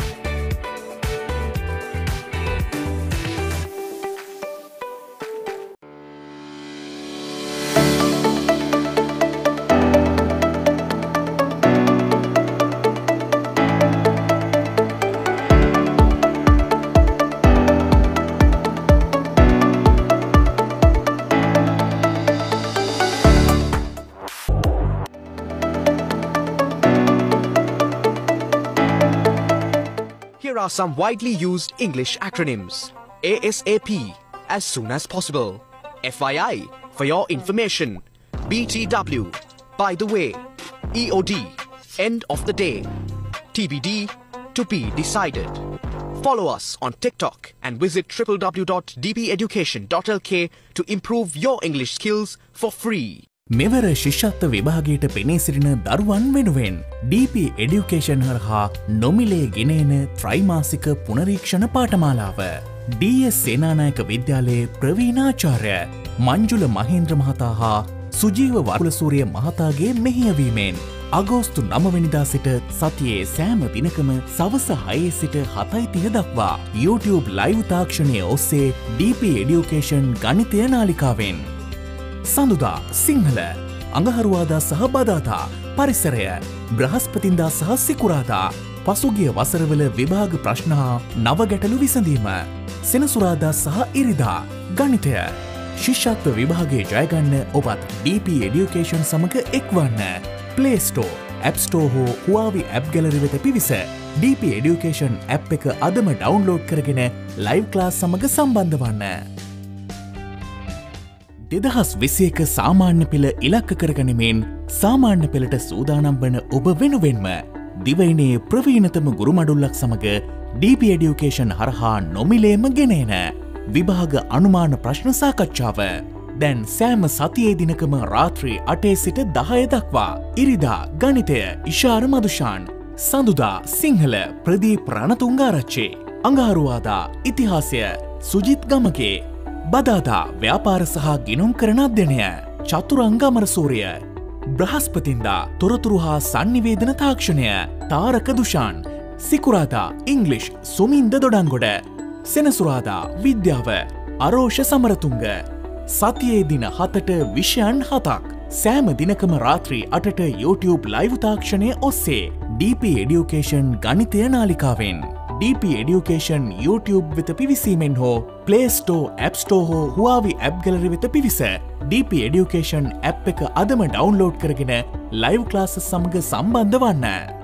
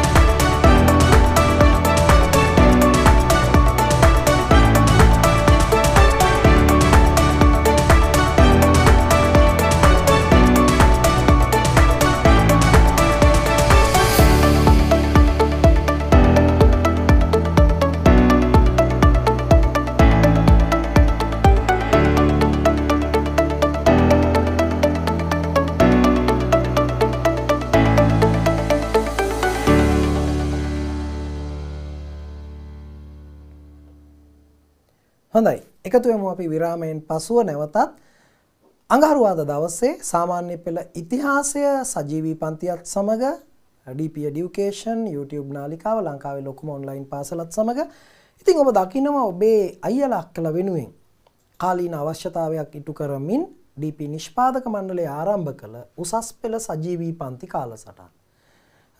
ලයිව් ක්ලාස් ලොකු අවස්ථාවක්. වීඩියෝ කරපු වැඩ සටහනක් රෙකෝඩින් එකක් බලනවට වැඩිය. ලංකාව ඉන්න ප්‍රමුඛතම ආචාර්ය මණ්ඩලයක් එක සජීවීව ඔබට විෂය ධාරාවන් හැමකින්ම ගණිත විෂය ධාරාව විද්‍යා ගණිත ඒ වගේම වාණිජ විෂය ධාරාව තාක්ෂණ වේදේ විෂය ධාරාව කලා විෂය ධාරාව යටතේ ඔබට උසස් පෙළ විෂයන් ගණනාවක් ඔබ වෙත ගෙනෙනවා සතිය දින හතේම උදෑසන හතේ සිට සවස්ස පහ දක්වා. පැය තුන බැගින් වූ කාල පරිච්ඡේද වෙන් කරලා තියෙනවා ඒ ඒ විෂයන්ට උදාහරණයකට 7 සිට 10 දක්වා ඒ වගේම පෙරවරු 10යි 30 සිට 1යි 30 දක්වා පස්වරු 2 සිට 5 දක්වා පැය 3 බැගින් වූ කාල පරාසයන් වෙන් කර තිබෙනවා. හොඳ කාල පරාසයක්. ඔබට අවශ්‍යම කරන විෂයන් දරුවන් වඩාත් ඉල්ලීම් කරපු විෂයන් ගණනාවක් මෙම සජීවී පන්තියට ඇතුළත් කරලා තියෙනවා. සඳුදා දවසේ උදෑසන සංයුක්ත ගණිතය විෂය ඔබට ඉගෙන ගන්න පුළුවන්. දුෂ්‍යන්ත මහබදුගේ ගුරුතුමාගෙන් ඉංජිනේරුවරයෙක්. විෂය සම්බන්ධව ප්‍රවීණාචාර්යවරයෙක්. ඒ වගේම තර්ක ශාස්ත්‍රය සහ විද්‍යාත්මක ක්‍රමය එම් මිග්ඩාඩ් ගුරුතුමා අගනුවර ප්‍රමුඛ පෙළේ තර්ක ශාස්ත්‍රයේ ගුරුතුමෙක් ඒකම අඟහරුවාද දවසේ උදෑසන 7 සිට ජෛව පද්ධති තාක්ෂණ වේදය එදාම පෙරවරු 10යි 30 සිට තාක්ෂණ වේදය සඳහා වූ විද්‍යාව. එදාම ඒ කිව්වේ අඟහරුවාද දවසේ. සන්ධ්‍යා කාලේ 2 සිට 5 දක්වා භෞතික විද්‍යාව. අතුකෝරල සර්විසින් දැනුම ගෙනේන. ඒකම බදාදා දවසට එමු අපි. බදාදා උදෑසනම උදෑසන 7 සිට 10 දක්වා ගිණුම් කරණය විෂය පැවැත්වෙනවා. බදාදා 10යි 30 සිට 1යි 30 දක්වා තොරතුරු හා sannivedana තාක්ෂණ විෂය. එදිනම සවස 2 සිට 5 දක්වා ඉංජිනේරු තාක්ෂණ වේදය විෂය පැවැත්වෙනවා. බ්‍රහස්පතින්දා දවසේ උදෑසන 7 සිට 10 දක්වා ජීව විද්‍යා විෂය. එදිනම දහයයි තිහේ සිට එකයි තිය දක්වා රසායන විද්‍යා විෂය. මහිතන්නේ කොළඹ රාජකීය විද්‍යාල හිටපු ආචාර්යතුමන් ශ්‍රීනාත් වික්‍රමසිංහ ගුරුතුමන් රසායන විද්‍යාව සජීවී පන්තිය ඉගෙනවීම කටයුතු කරන්නේ. ඉන් අනතුරුව සන්ධ්‍යා කාලේ දෙකේ සිට පහ දක්වා ව්‍යාපාර අධ්‍යයනය විෂය සිකුරාදා දවසේ උදෑසන දේශපාලන විද්‍යාව විෂය පැවැත්වෙනවා. උදෑසන 7 සිට 10 දක්වා එම විෂය නිලු තෙන්නකෝන් ගුරුතුමිය විසින් ගුරු මෑණියන් විසින් කොළඹ විශාක විද්‍යාලයේ උසස් පෙළ ආචාර්යතුමිය විසින් උගන්වනවා ඇති ඒකම එදා සන්ධ්‍යා භාගයේ දහවල් කාලේ භූගෝල විද්‍යාව විෂය සම්පත් අල්දෙනිය ගුරුතුමන් විසින් මෙහෙවනවා ලංකාවේ නගර කීපයකම. ඉතාමත් ජනප්‍රිය ගුරුවරේ කොළඹ ගම්පා කෑගල්ල මහනුවර ආදී නගර ගණනාවක සිසුන් අතර ආදරය ගෞරවේ දිනාගත්ත ප්‍රතිඵල තියෙන ගුරුවරේ සම්පත් අල්දෙනිය ගුරුතුමන් එදිනම සන්ධ්‍යා කාලේ. සාමාන්‍ය ඉංග්‍රීසි විෂය උසස් පෙළ සඳහා අනිවාර්ය විෂයක් සියලු විෂයන්ට ජෙනරල් ඉංග්ලිෂ් අපේ ඔබ කවුරුත් දන්නා සුමින්ද දොඩන් ගොඩස ඔබේ සාමාන්‍ය පෙළ සජීවී පන්තිවල දැනුම ඔබට ගෙනෙන දොඩංගොඩස තමයි මේ පන්තිවල ඉගැන්වීම් කටයුතු කරන්නේ. උසස් පෙළ දරුවන් සඳහා. ඉතාම දක්ෂ ගුරුවරේ. සෙනසුරාදා පන්ති කාලසටහන් ආරම්භ වෙන්නේ පෙරවරු 10 ඉතිහේ සිට. 10 ඉතිහේ සිට 1 ඉතිය දක්වා සිංහල විෂය පැවැත්වෙනවා. සිංහල විෂය ඉගැන්වීම් කටයුතු කරන්නේ මහාචාර්ය ඉන්දුරාගාරේ ස්වාමින් වහන්සේ විශ්වවිද්‍යාල ජ්‍යෙෂ්ඨ කතිකාචාර්ය ස්වාමින් වහන්සේ නමක් කැලණිය විශ්වවිද්‍යාලේ ඒ වගේම ඔබේ සාමාන්‍ය පෙළ සිංහල ගුරුතුමන් ඔබත් සමග සඳුදා දවස එකතු වෙන සාමාන්‍ය පෙළ සිංහල ගුරුතුමන් ප්‍රදීප් රණතුංග ආරච්චිස ඒ සඳහා දායක වෙනවා. ආර්ථික විද්‍යාව විෂය සෙනසුරාදා දවසේ සන්ධ්‍යා කාලේ දෙකේ සිට පහ දක්වා පැවැත්වෙනවා. තිවංක ගොඩවැලගේ ගුරුතුමන් විසින් එම පන්තිය මෙහෙවන්නේ ඉතාම දක්ෂ ගුරුවරයෙක් අපිත් එක්ක ඉන්න ආර්ථික විද්‍යාව කලා විෂය ධාරාවට වාණිජ්‍ය විෂය ධාරාවටත් දෙකටම අදාළ වෙන විෂයක්. ඉරිදා දවසේ 10යි 30ට ජනමාධ්‍ය හා sannivedana විෂය පැවැත්වෙනවා මීඩියා අසෙල බණ්ඩාරනායක සර් දක්ෂ මාධ්‍යවේදියෙක් ඒ සමගම එදින දෙකේ සිට පහ දක්වා බෞද්ධ ශිෂ්ටාචාරය විෂය කලා විෂය ධාරාවට අයිති විෂයක් පැවැත්වෙනවා. මෙන්න මේ ආකාරයට සතිය දින 7ෙම උදෑසන සහ සවස් වරුවේ උසස් පෙළ දරුවන් සඳහා ඔබට දැනුම රැගෙන එනවා DB Education YouTube නාලිකාව. හොඳයි. අපි නැවතත් යොමු වෙමු අපේ පාඩමට. හය එක අපි සාකච්ඡා කරන්න සූදානම් වෙලා හිටියේ. ඉන්දයානු සාගරයාවට රටවල වෙළඳ තරගයක යෙදී සිටි යුරෝපා ජාතින් තුනක් කියපු ගම ප්‍රශ්න භාගට කියවලා අයියෝ මේකත් මොන ප්‍රශ්නයක්ද? ඉන්දයානු සාගරයාවට රටවල වෙළඳ තරගේ වෙළඳ බලය අත්පත් කරගන්න. යෙදී සිටි. යුරෝපා ජාතින් තුනක් කියලා ඉතුරු ටික කියවන්න නැතුව පෘතුගීසි ලන්දේසි ඉංග්‍රීසි කියලා ලියලවිල්ලා කියනවා සල්ලිව්වා නියමට. පෘතුගිසි ලන්දේසින් ඉංග්‍රීසි ඉන්දියන් සාගරයාවට වෙළඳ බලය අල්ල ගන්නවා. පොඩ්ඩක් එහාට කියවුවහම වරහන් ඇතුළේ දාලා තිනවා බ්‍රිතාන්‍ය හැර. එහෙනම් පෘතුගීසි ලන්දේසි ඉංග්‍රීසි ලියන්න බෑනේ. බ්‍රිතාන්‍යයන් හැරනේ. බ්‍රිතාන්‍ය කියන්නේ ඉංග්‍රීසීන්ටනේ. එහෙමනම් බ්‍රිතාන්‍යයන් හැර කියලාත් තියෙනවා. ප්‍රශ්නේ සම්පූර්ණයෙන් කියවන්න කලබල නොවි. එහෙම කියවුවහම බ්‍රිතාන්‍යයන් හැර පෘතුගීසීන් අපි දන්නවා. ලන්දේසි අපි දන්නවා. ඊට අමතරව පෙරදිග බලය අල්ලන්නව ප්‍රංශ ජාතිකයෝ. විශේෂම ඉන්දියාවත් පත් කරගන්න ලොකු උත්සාහයක නිරත වුණා. ඒ නිසාමයි බ්‍රිතාන්‍යයන් ලංකාව කෙරෙහි අවධානය යොමු කරේ. ප්‍රංශ ජාතිකයන්ගෙන් තමන්ගේ නැව් ටික බේරගන්නයි ඉන්දියන් සාගරයේ බලය තහවුරු කරගන්නයි ලංකාවේ පිහිටීමත් ත්‍රිකුණාමල වරායත් වැදගත් නිසා. යම් හේකින් ත්‍රිකුණාමල වරාය ප්‍රංශ ජාතිකයන්ට අත්පත් වුණොත් ඔවුන් එතැන් සිට ඉන්දියාවේ ඉංග්‍රීසි පාලනයට අභියෝග කරනවා. අනිතක ඉන්දියාවේ නැගෙනහිර ප්‍රදේශවල බලය ව්‍යාප්ත කරන්න. ඉන්දියන් ඉන්දියන් සාගරයේ නැගෙනහිර පැත්තේ බලය ව්‍යාප්ත කරන්න. ප්‍රංශ ජාතිකයන්ට ත්‍රිකුණාමල වරාය හොඳ අවස්ථාවක් වෙනවා. පෙරාපර දෙදිග මුහුදු ගමන් පාලනය කරන්න මධ්‍යගත රටක් නිසා මේ ආසියාතික ප්‍රදේශවල බලය පතුරවන්නත් මේක හේතුවක් වෙනවා. ඒ නිසා ප්‍රංශ ජාතිකයන් පෙරදිග බලය අත්පත් කර ගැනීම වළක්වන්නට ඉංග්‍රීසීන්ට ලංකාව අවශ්‍ය වුණා. හොඳයි. ලකුණු තුනක් හම්බ වෙයි මේ රටවල් ලියලා තිබෙනවා නම්. අපි යමු 6 වෙනි ප්‍රශ්නේ දෙවැනි කොටසට. ත්‍රිකුණාමල වරාය බ්‍රිතාන්‍යයන්ට වැදගත්වීමට බලපෑ හේතු දෙකක් සඳහන් කරන්න විස්තර කරන්න කියලා නම් නෑ පුතේ. හේතු දෙකක් ත්‍රිකුණාමල වරාය බ්‍රිතාන්‍යයන්ට වැදගත් වුණේ හේතු දෙකක්. ත්‍රිකුණාමල වරාය බෙංගාල බොක්කට මුහුණලා තිබීම. එතකොට බෙංගාල බොක්ක යනු කවර ප්‍රදේශයේද? ඉන්දියන් සාගරයේ නැගෙනහිර ප්‍රදේශය. බෙංගාල බොක්කත් එක්ක එතනින් පල්ලෙහාට තියෙන අග්නිදිග ආසියාතික රටවල් රැසක්. ඒ පැත්තේ තමන්ගේ බලය පතුරවන්න. ඒ ප්‍රදේශවල තමන්ගේ බලය පතුරවන්න. ත්‍රිකුණාමල වරාය ඉතාම වැදගත්. ඉන්දියන් සාගරය නැගෙනහිර ප්‍රදේශවල තම ආධිපත්‍ය පැතිරවීමට ත්‍රිකුණාමල වරාය වැදගත්. මොකද මේක ලෝකේ හොඳම ස්වභාවික වරායන්ගෙන් එකක්. මෙවැනි වරායන් ලෝකෙටම තියෙන්නේ හයයි. වරායක් හදහද ඉන්න ඉංග්‍රීසින්ට දැන් කල් නෑ මේ පෙරදිග බලතරගෙදි ප්‍රංශ ජාතිකයොත් තරඟකාරී විදිහට පෙරදිග ප්‍රදේශ අත්පත් කරගන්න එනවා. ඉන්දියාවේ ඉංග්‍රීසීන් සතු ප්‍රදේශ අත්පත් කරගන්න ලොකු උත්සාහයක නියලෙනවා. ඒ නිසා අලුතෙන් වරායක් හදන්න කල් නෑ. නිසා ස්වභාවික වරායක් Tamanට තියෙන එක ලොකු වාසියක්. ඉන්දියාවෙන් පිටත වීමෙන් තමන්ගේ නැව් ආරක්ෂිතව නවත්තන්නත් පුළුවන් ප්‍රංශ ජාතිකයන්ගේ. අනිත් එක ඉන්දියාවෙන් පිටත වුණත් ඉන්දියාවට ආසන්න තැනක විශේෂම මදුරාසිය ඒ කියන්නේ වර්තමාන චෙන්නයි ඔවුන්ගේ පෙරදිග වෙළඳ මධ්‍යස්ථානය ඉංග්‍රීසීන්ගේ පෙරදිග ඉන්දිය වෙළඳ සමාගම. එතනත් එක්ක පහසුවෙන් සම්බන්ධ වෙන්න පුළුවන් තැනක තමයි ත්‍රිකුණාමල වරාය තියෙන්නේ. මදුරාසියත් එක්ක ඍජු සම්බන්ධකම් පවත්වන්න. අන්තක විශාල වරායක් නිසා තුන් පැත්තකින් ගොඩබිම නැව් විශාල ප්‍රමාණයක් නවත්තලා තියන්න පුළුවන් සතුරන්ට පහර දෙන්න අමාරුයි. ලොකු ස්වභාවික වරායක්. අනිත් එක මෝසම් සුලන් සමයෙහි ඉන්දියන් සාගරයේ මේ මුහුද කැළඹෙනවා. රුවල් නැව් ඒ කාලේ තිබ්බේ. නිසා රුවල් නැව් වලට මේ සුලම් පාර ඔරොත්තු දෙන්නේ. ඒ නිසා එම මෝසම් සුලං කාලෙදි නැව් ආරක්ෂිතව නවත්තන්න. අබලන් වෙන නැව් ප්‍රංශ ජාතිකයෝ පහර දෙන නැව්. අලුත් වැඩියා කරගන්නත් නැව් ප්‍රංශ ජාතිකයන්ගෙන් ආරක්ෂා කරගෙන වෙනම තැනක නවත්තලා තියෙන එක කොහොමත් හොඳයි. මොකද ඉන්දියාව තුල ප්‍රංශ ජාතිකයන් සමග නිතර ගැටුම් ඇති වෙනවා. ඒ නිසාත් මේ ත්‍රිකුණාමල වරාය වැදගත් වුණා. ඉන්දියාවේ නැගෙනහිර වෙරළේ නැගෙනහිර වෙරළ තීරය තමයි ඔය අපි කියපු මදුරාසිය තියෙන. ඊට ටිකක් පහලින් තමයි පොන්ඩිච්චර්. පොන්ඩිච්චරි නැත්නම් පොන්ඩිච්චර් පොන්ඩිච්චරි ප්‍රංශ ජාතිකයෝ අත්පත් කරගෙන හිටියා. නිසා මේ නැගෙනහිර වෙරළේ බලය පතුරවන්න ත්‍රිකුණාමල වරාය නැගෙනහිර පැත්තේ වෙරළ තියෙන වරායක්නේ.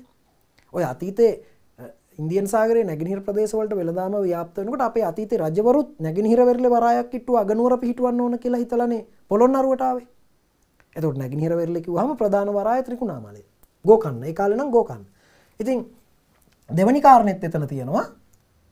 ඉන්දියන් සාගරයේ ඉන්දියාවේ නැගෙනහිර වෙරළේ නාවික බලය රැක ගැනීමට එම වරායේ පිහිටීම වැදගත් වීම ඊසානදික මෝසම් සුලං කාලේ නැව් ආරක්ෂිතව නවතා ගැනීමට වරාය යොදාගත හැකි වීම ඉන්දියන් සාගරයේ නාවික කටයුතු මෙහෙවන්න බොහොම හොඳ තැනක් විශේෂයෙන්ම මං කිව්වා අර මේ බෙන්ගාල බොක්කාවට රටවල ඉන්දියාවෙන් නැගෙනහිර පැත්තේ තියෙන රටවල අග්නිදිගාසියාව පැත්තට විශාල නැව් ප්‍රමාණයක් නවතා තැබිය හැකි ස්වභාවික වරායක් වීම ප්‍රංශ ජාතිකයන්ගෙන් තම නැව් ආරක්ෂා කර ගැනීමට ඉන්දියාවෙන් පිටත තැනක නැව් නවත්තනවා නම් ඒකට ගොඩාක් දුර තැනක මේ ඕස්ට්‍රේලියාව හරිය ගිහින් නවත්තන්න බෑනේ ඉන්දියාවේ අවශ්‍යතාවලට ආපු නැව්.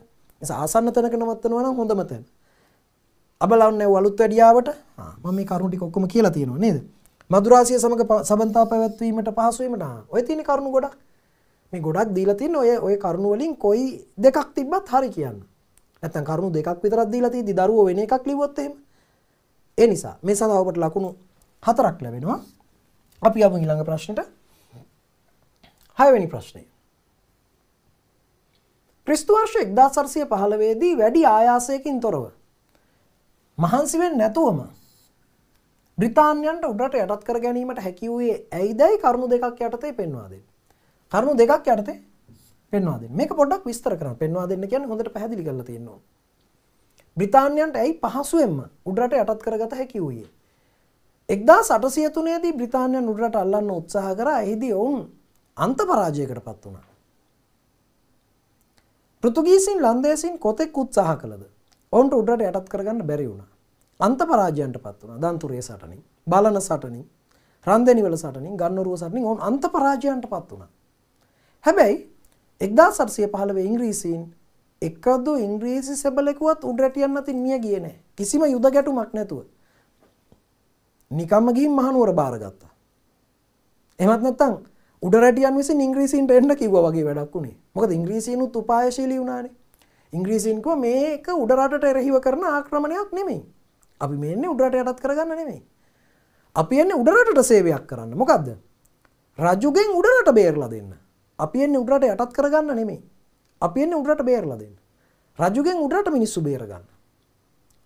උඩරටියන්ට උඩරට බාර දෙන්න අපි මේ. එහෙනම් මිනිස්සු කල්පනා කරනවා අපි මොකටද ඉංග්‍රීසීන්ට විරුද්ධව යුද්ධ කරන්නේ? අපිට උදව් කරන්න නෙන්නේ. අපිව බේරගන්න නෙන්නේ. ආක්‍රමණය කරන්න නෙමෙයි නෙන්නේ. අන්න එහෙම මතයක්. ජෝන් ඩොයිලිගේ උපක්‍රමශීලී ක්‍රියාකලාපය. ජෝන් ඩොයිලි උඩරටට යැව්වේ මේට්ලන් ආණ්ඩුකාරයා. ඔහු ඔහුට හොඳට සිංහල පුළුවන්. ඔහු හොඳින් බුදුදහමේ ඉගෙනගෙන තියෙනවා.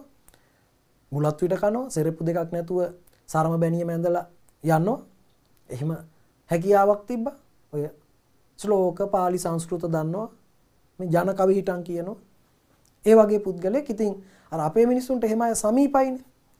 ඉතින් මේ සිවිල් සේවකයෙක් වෙච්ච ජෝන් ඩොයිලි උපාය දූතයෙක් විදිහට චරපුරුෂයෙක් විදිහට උඩරටට යවනවා එවකට ආණ්ඩුකාරය. මේට්ලන් මේටලන්ට ඕනුනා මේ උඩට යටත් කරගන්න බැරිවෙන්න හේතුව මොකක්ද බලන්න. එක්දා සරසිය තුනේ ෆෙඩ්රික් නොත් දර පුත්සාහය අසාර්ථක වුණ. පෘතුගීසින් ලන්දේසින් ඉංග්‍රීසින් මීට වැඩිය විශාල රටවල් ලෝක අත්පත් කරගෙන තිද්දි ලංකාව උඩට අල්ලන්න බැරිවුණේ එතකොට මේටලන් කල්පනා කරනවා මෙතන මොකක් හරි රහසක් තියෙනවා. මොකක්ද මේක කියලා හොයලා බලන්න උපාය දූතයෙක් චරපුරුෂයෙක් ඔත්තුකාරයෙක් හැටියට මොහු යවනවා. මෙයා ගිහින් උඩරටියන්ගේ හිත දිනා ගන්නවා. රජු එක්ක හිතවත් වෙනවා රජුට සමීප වෙනවා රජු එක්ක කතා බහ කරනවා රජුගෙන් සැලකිය යුතු උඩරට ගැන තොරතුරු ටිකක් දැනගන්නවා. රජුට හිතවත් කවුද? රජුට විරුද්ධවාදීන් කවුද කියලා රජුගෙන් අහගන්නවා. අනික් පැත්තට ගිහින් රජු ගැන වැරදි ප්‍රභූවරු එක්ක කියනවා අනිත් බලවතුන් එක්ක. නායක්කාර වංශික රජෙක් බලයට පත්වීම නිසා අප්‍රසාදයෙන් හිටපු උඩරට ප්‍රධානීන් තමන්ගේ පැත්තට හිතවත් කරගන්න රජුගේ වැරදි කියනවා. උඩරට වෙනත් ප්‍රභූන්ට රජුට පමණක් දෙවැනි ඔවුන්ට කියනවා ඔබ රජකම සඳහා වඩාත් සුදුසුයි ඔබට රාජ්‍යරුමය තියෙනවා කියලා. ඔබ ගැන රජු සැකෙන් ඉන්නවා කියලා කියනවා. එතකොට රදලයෝ රජු එක්ක තවත් වෛර බැඳ ගන්නවා මේවා තමයි උපායන්.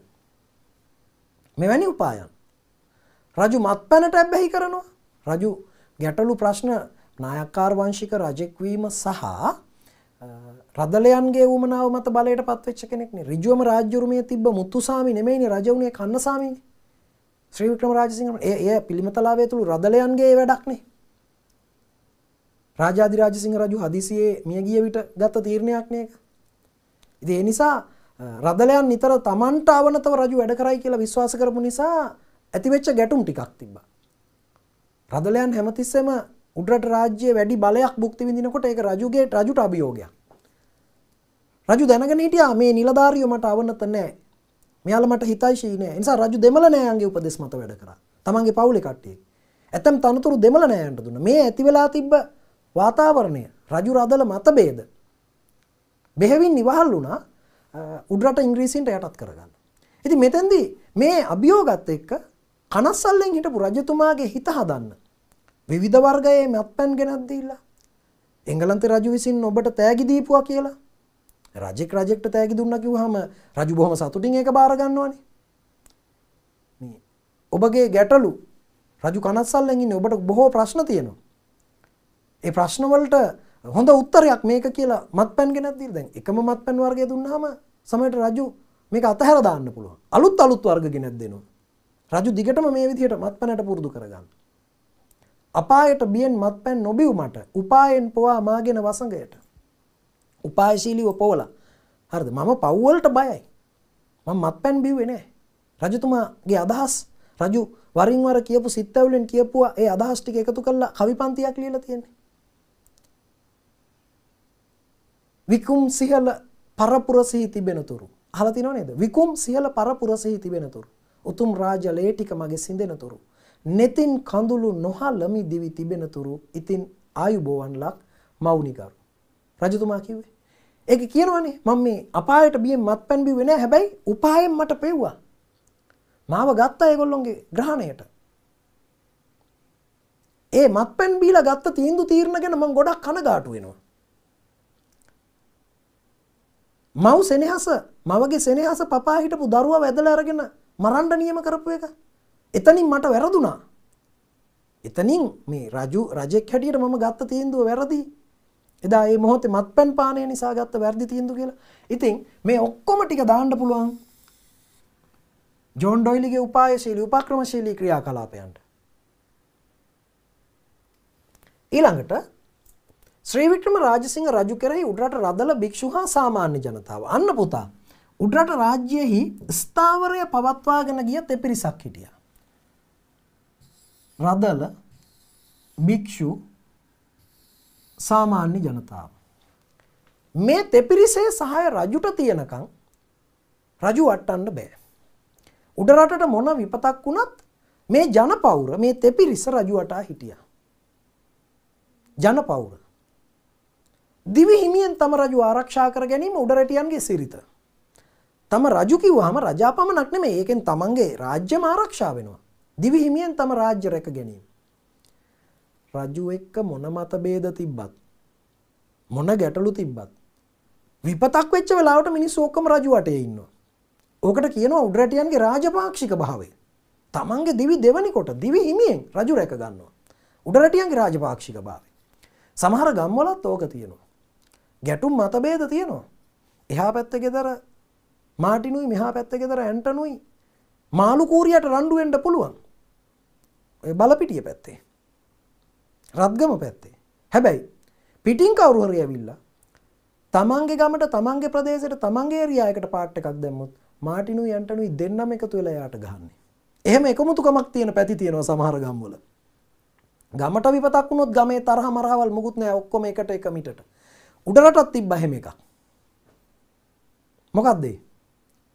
රජු එක්ක මතභේද තිබ්බ රදලයන්ට. හැබැයි තමන්ගේ රාජ්‍ය රැකගත්ත විපතක් වුණාම. දිවි හිමියෙන් රජු රැක්කා. රදලයෝ කියන්නේ ප්‍රාදේශීය නායකයෝ. ඒගොල්ලෝ ප්‍රාදේශීය රජවරු වගේ ලොකු බලයක් තිබ්බා. දිසාවිල වගේ කට්ටිය රජුට පමණක් දෙවනි වූ අය. පොඩි පොඩි රදලයොත් හිටිය ගම්මුලාදෑනියෝ වගේ අතපත්තුල වගේ විධානල වගේ නමුත් ඉහළ රදලයෝ කියන්නේ ලොකු ප්‍රදේශයක පාලකෙක්. අද හැටියට ගත්තොත් සමහරට මුළු පලාතක් දිස්ත්‍රික්කයක් මවුන් පාලනය කර. එතකොට ගම් ගොඩක්. ඒතර මේ ප්‍රදේශයේ රදලයා රජුට පක්ෂපාතී නම් මේ ජනතාවත් රජුට පක්ෂපාතී. රදලයා රජුගෙන් ඈත් වුණොත් රදලයා රජු සමග අමනාප වුණොත් ඒ මුළු ප්‍රදේශයේම ගම්වැසියන් තරුණයන් මිනිස්සු රජුට පක්ෂපාතී නෑ. මොකද රජු කෙරෙහි පක්ෂපාතීත්වය අරන් දෙන්නේ ගමේ පළාතේ ප්‍රධානියා රදලයා. රජුට ගමේ ගයක් ගයක් ගාන ගිහින් ගම්වල මිනිස්සු යුද්ධයට එකතු කරන්න බෑ. රජුට ගමේ ගයක් ගයක් ගාන ගිහින් තමන්ගේ මතය මිනිස්සුන්ට කියලා දෙන්න බෑ. රජුට ගමේ ගයක් ගයක් ගාන ගිහින් තමන්ගේ කටයුතු වලට මිනිස්සු එකතු කරන්න බෑ. ඒක කරන්නේ ඒ ප්‍රාදේශීය පාලකයා. ඔහු ඒක නොකරොත් ගම්වැසියන්ගේ සහාය රජුට නෑ. රජු තනි වෙනවා. රදලයෝ රජුගෙන් ඈත් වෙච්ච ගමන් රදලයෝනි ගම් පාලනය කරන්නේ. සමස්ත ගම් වලින්ම උඩරට සමස්ත භූමියේම ප්‍රදේශවලින් රටවල් තිබ්බා, දිසාවල් තිබ්බා, කෝරල තිබ්බා පත්තු තිබ්බ. ඔය ඒ මිනිස්සුන්ගේ සහය නැතිවන මොකද ඒ පලාත ප්‍රධානය රජුගෙන් ඇත්වෙච්ච ගම ඒ පලාත රජුට මෙහෙවන්න බෑ. රජුට ඒක කරන්න බෑ ගම ගයක් ගයක් ගානකි. එනිසා රදලයෝ රජු සම ගමනාපවීම මේ රදලයෝ රජු සම ගමනාප වෙන්න හේතු එකක් නායක්කාර වංශික රජවරු බලයට පත්වෙච්ච දවසිඳලම ඔය ප්‍රශ්න තිබ්බනේ. උඩරට රදලයන් නායක්කාර වංශිකයන් තම රජවරු ලෙස පිළිගන්න තිබ්බ අකමැත්ත. ඔවුන්ට අවනත වෙන්න තිබ්බ අකමැත්ත. හැමතිස්සෙම රදලයෝ හිතුවේ උඩරට රජවරු නායක්කාර වංශික රජවරුන්ට උඩරට අයිති නෑ. උඩරට අයිති අපිට. උඩරට සිංහල බෞද්ධයන්ගේ රාජ්‍යයක්. ඒ නිසා අපි තමා උඩරට තීන්දුව తీරන ගන්න ඕන. අපි තමා උඩරට ප්‍රධානිය. රජු ප්‍රධානිය වුණාට මේ රජු මේ නායක්කාර වංශිකයන්ට උඩරට අයිති නෑ. එම්නම් කාටද අයිති? රජු අයින් වුණාම ඊළඟට ඉන්න ප්‍රධානියෝ අපි. ඒ නිසා රජුරාදල මතභේද කලින් ඉඳලම තිබ්බා. අර පිළිමතලාවේගේ අවශ්‍යතාවය මත මුතුසාමි වෙනුවට කන්නසාමි රජ කිරීමෙන් ඒ ගැටුම් තව උග්‍ර වුණා. මොකද පිළිමතලාවේ හිතුවා හැම මොහොතකම Tamanට අවනතව රජු වැඩ කරයි සහ Tamanගේ ආධිපත්‍ය උඩට තියාගන්න. ඒකෙන් තමයි ගැටුම් ඇති වුණේ. රජුගේ බලය අභිභවා යන කවුරුවත් බිහි වෙනවට රජු කැමති නෑනේ. නිසා රදලයන් රජු සමග අමනාප වුණා. රදලයන් අමනාප වීමත් එක්කම රජු නායකකාර වංශිකනේ.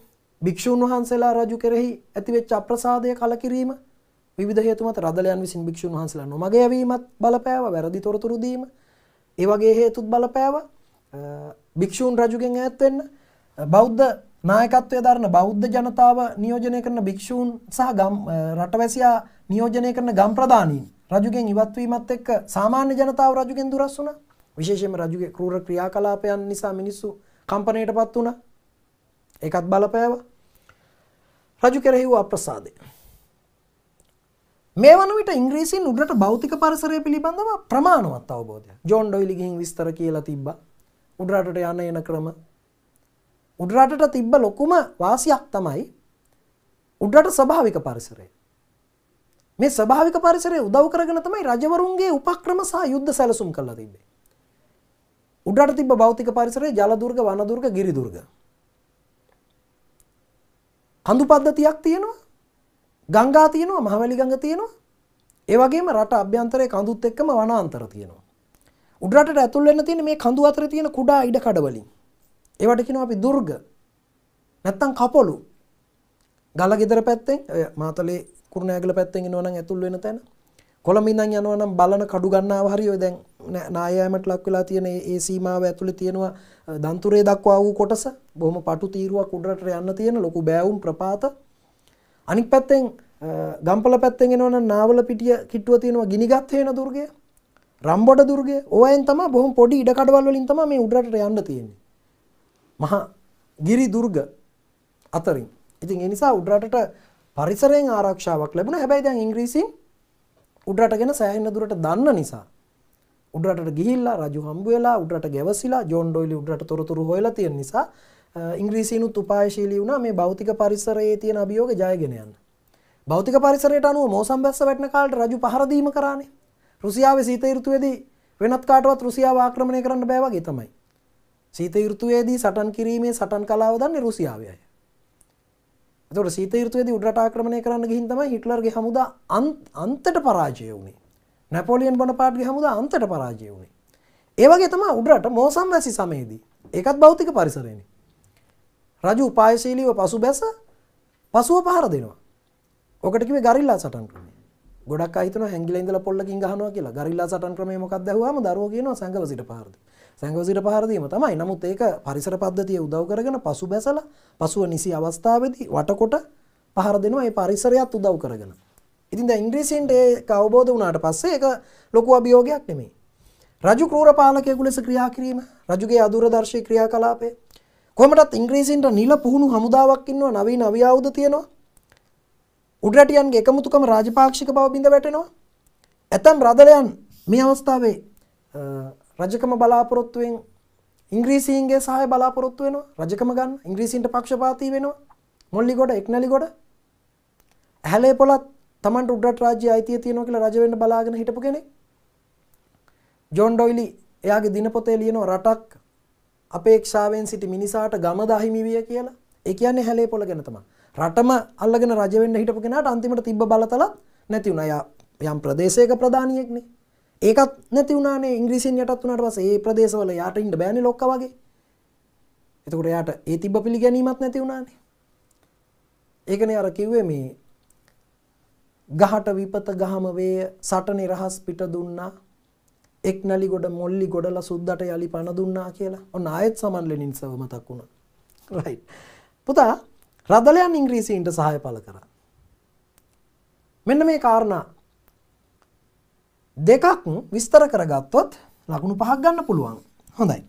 යමු හයවෙනි ප්‍රශ්නේ හතරවෙනි කොටසට.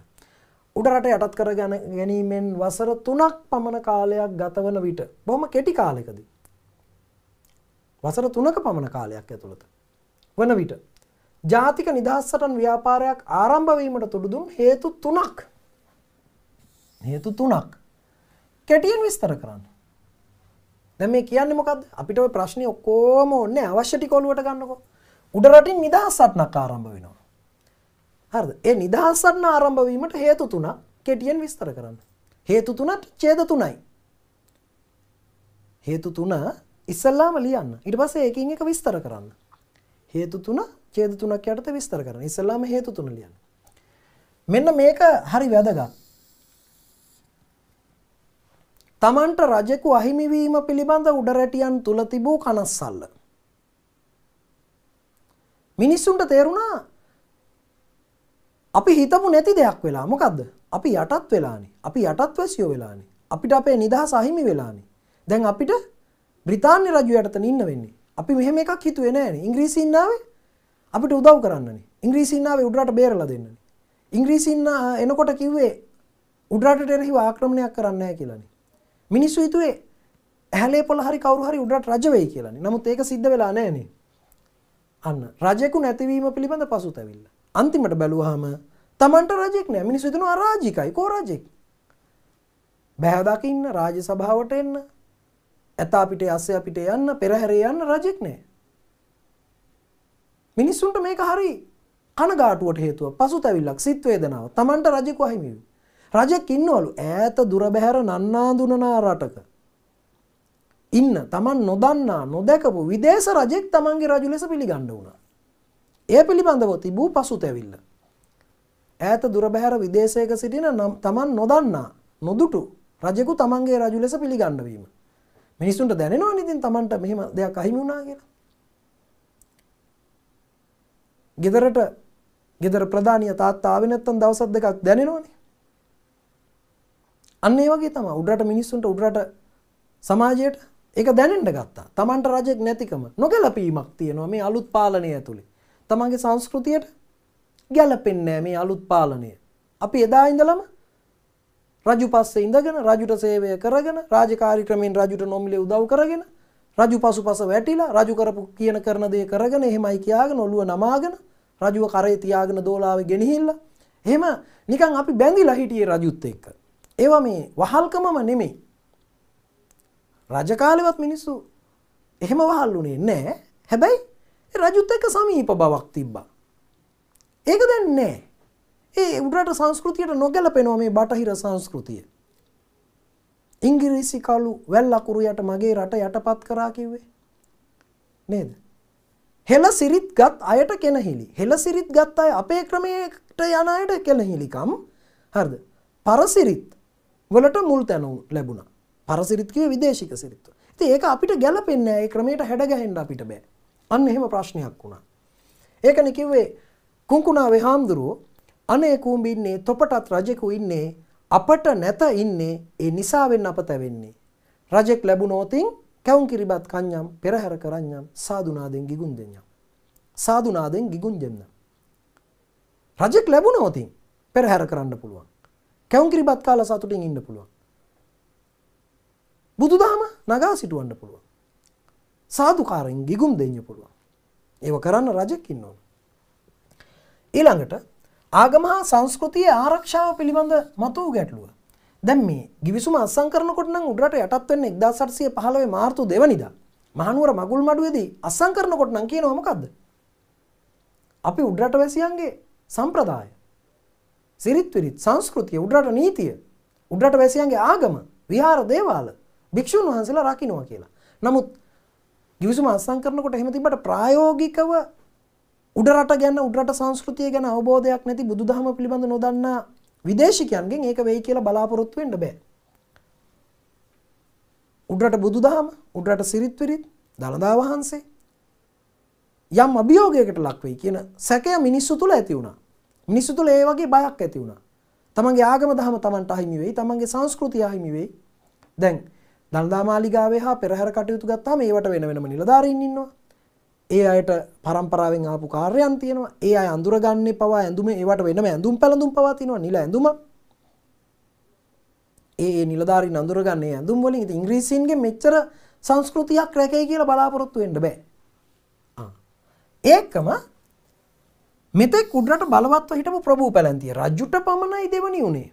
හැබැයි ඉංග්‍රීසීන් යටත් කරගත්තට පස්සේ සෑම ඉංග්‍රීසි නිලධාරියෙක්ගේම නීතියට අවනතව ඉන්න ඕන. මොකද ඒ වෙනකොට ප්‍රභූන් කියලා නෑ. උඩරට වැසියෝ ඔක්කොම යටත්. එතකොට ප්‍රභූනුත් උඩරට වැසියෝ. එතකොට Tamanට ඉහළින් දැන් විවිධ නිලධාරීන් ඉන්නවා විවිධ තරාතිරම. ඉංග්‍රීසි යුද සෙබළුන්ට පවා උඩරට අතනෝමතිකව කටයුතු කිරීමේ බලයක් තිබ්බා. එතකොට ඒ අයට පවා අවනතව ඉන්න වෙලා තියෙන්නේ දැන්.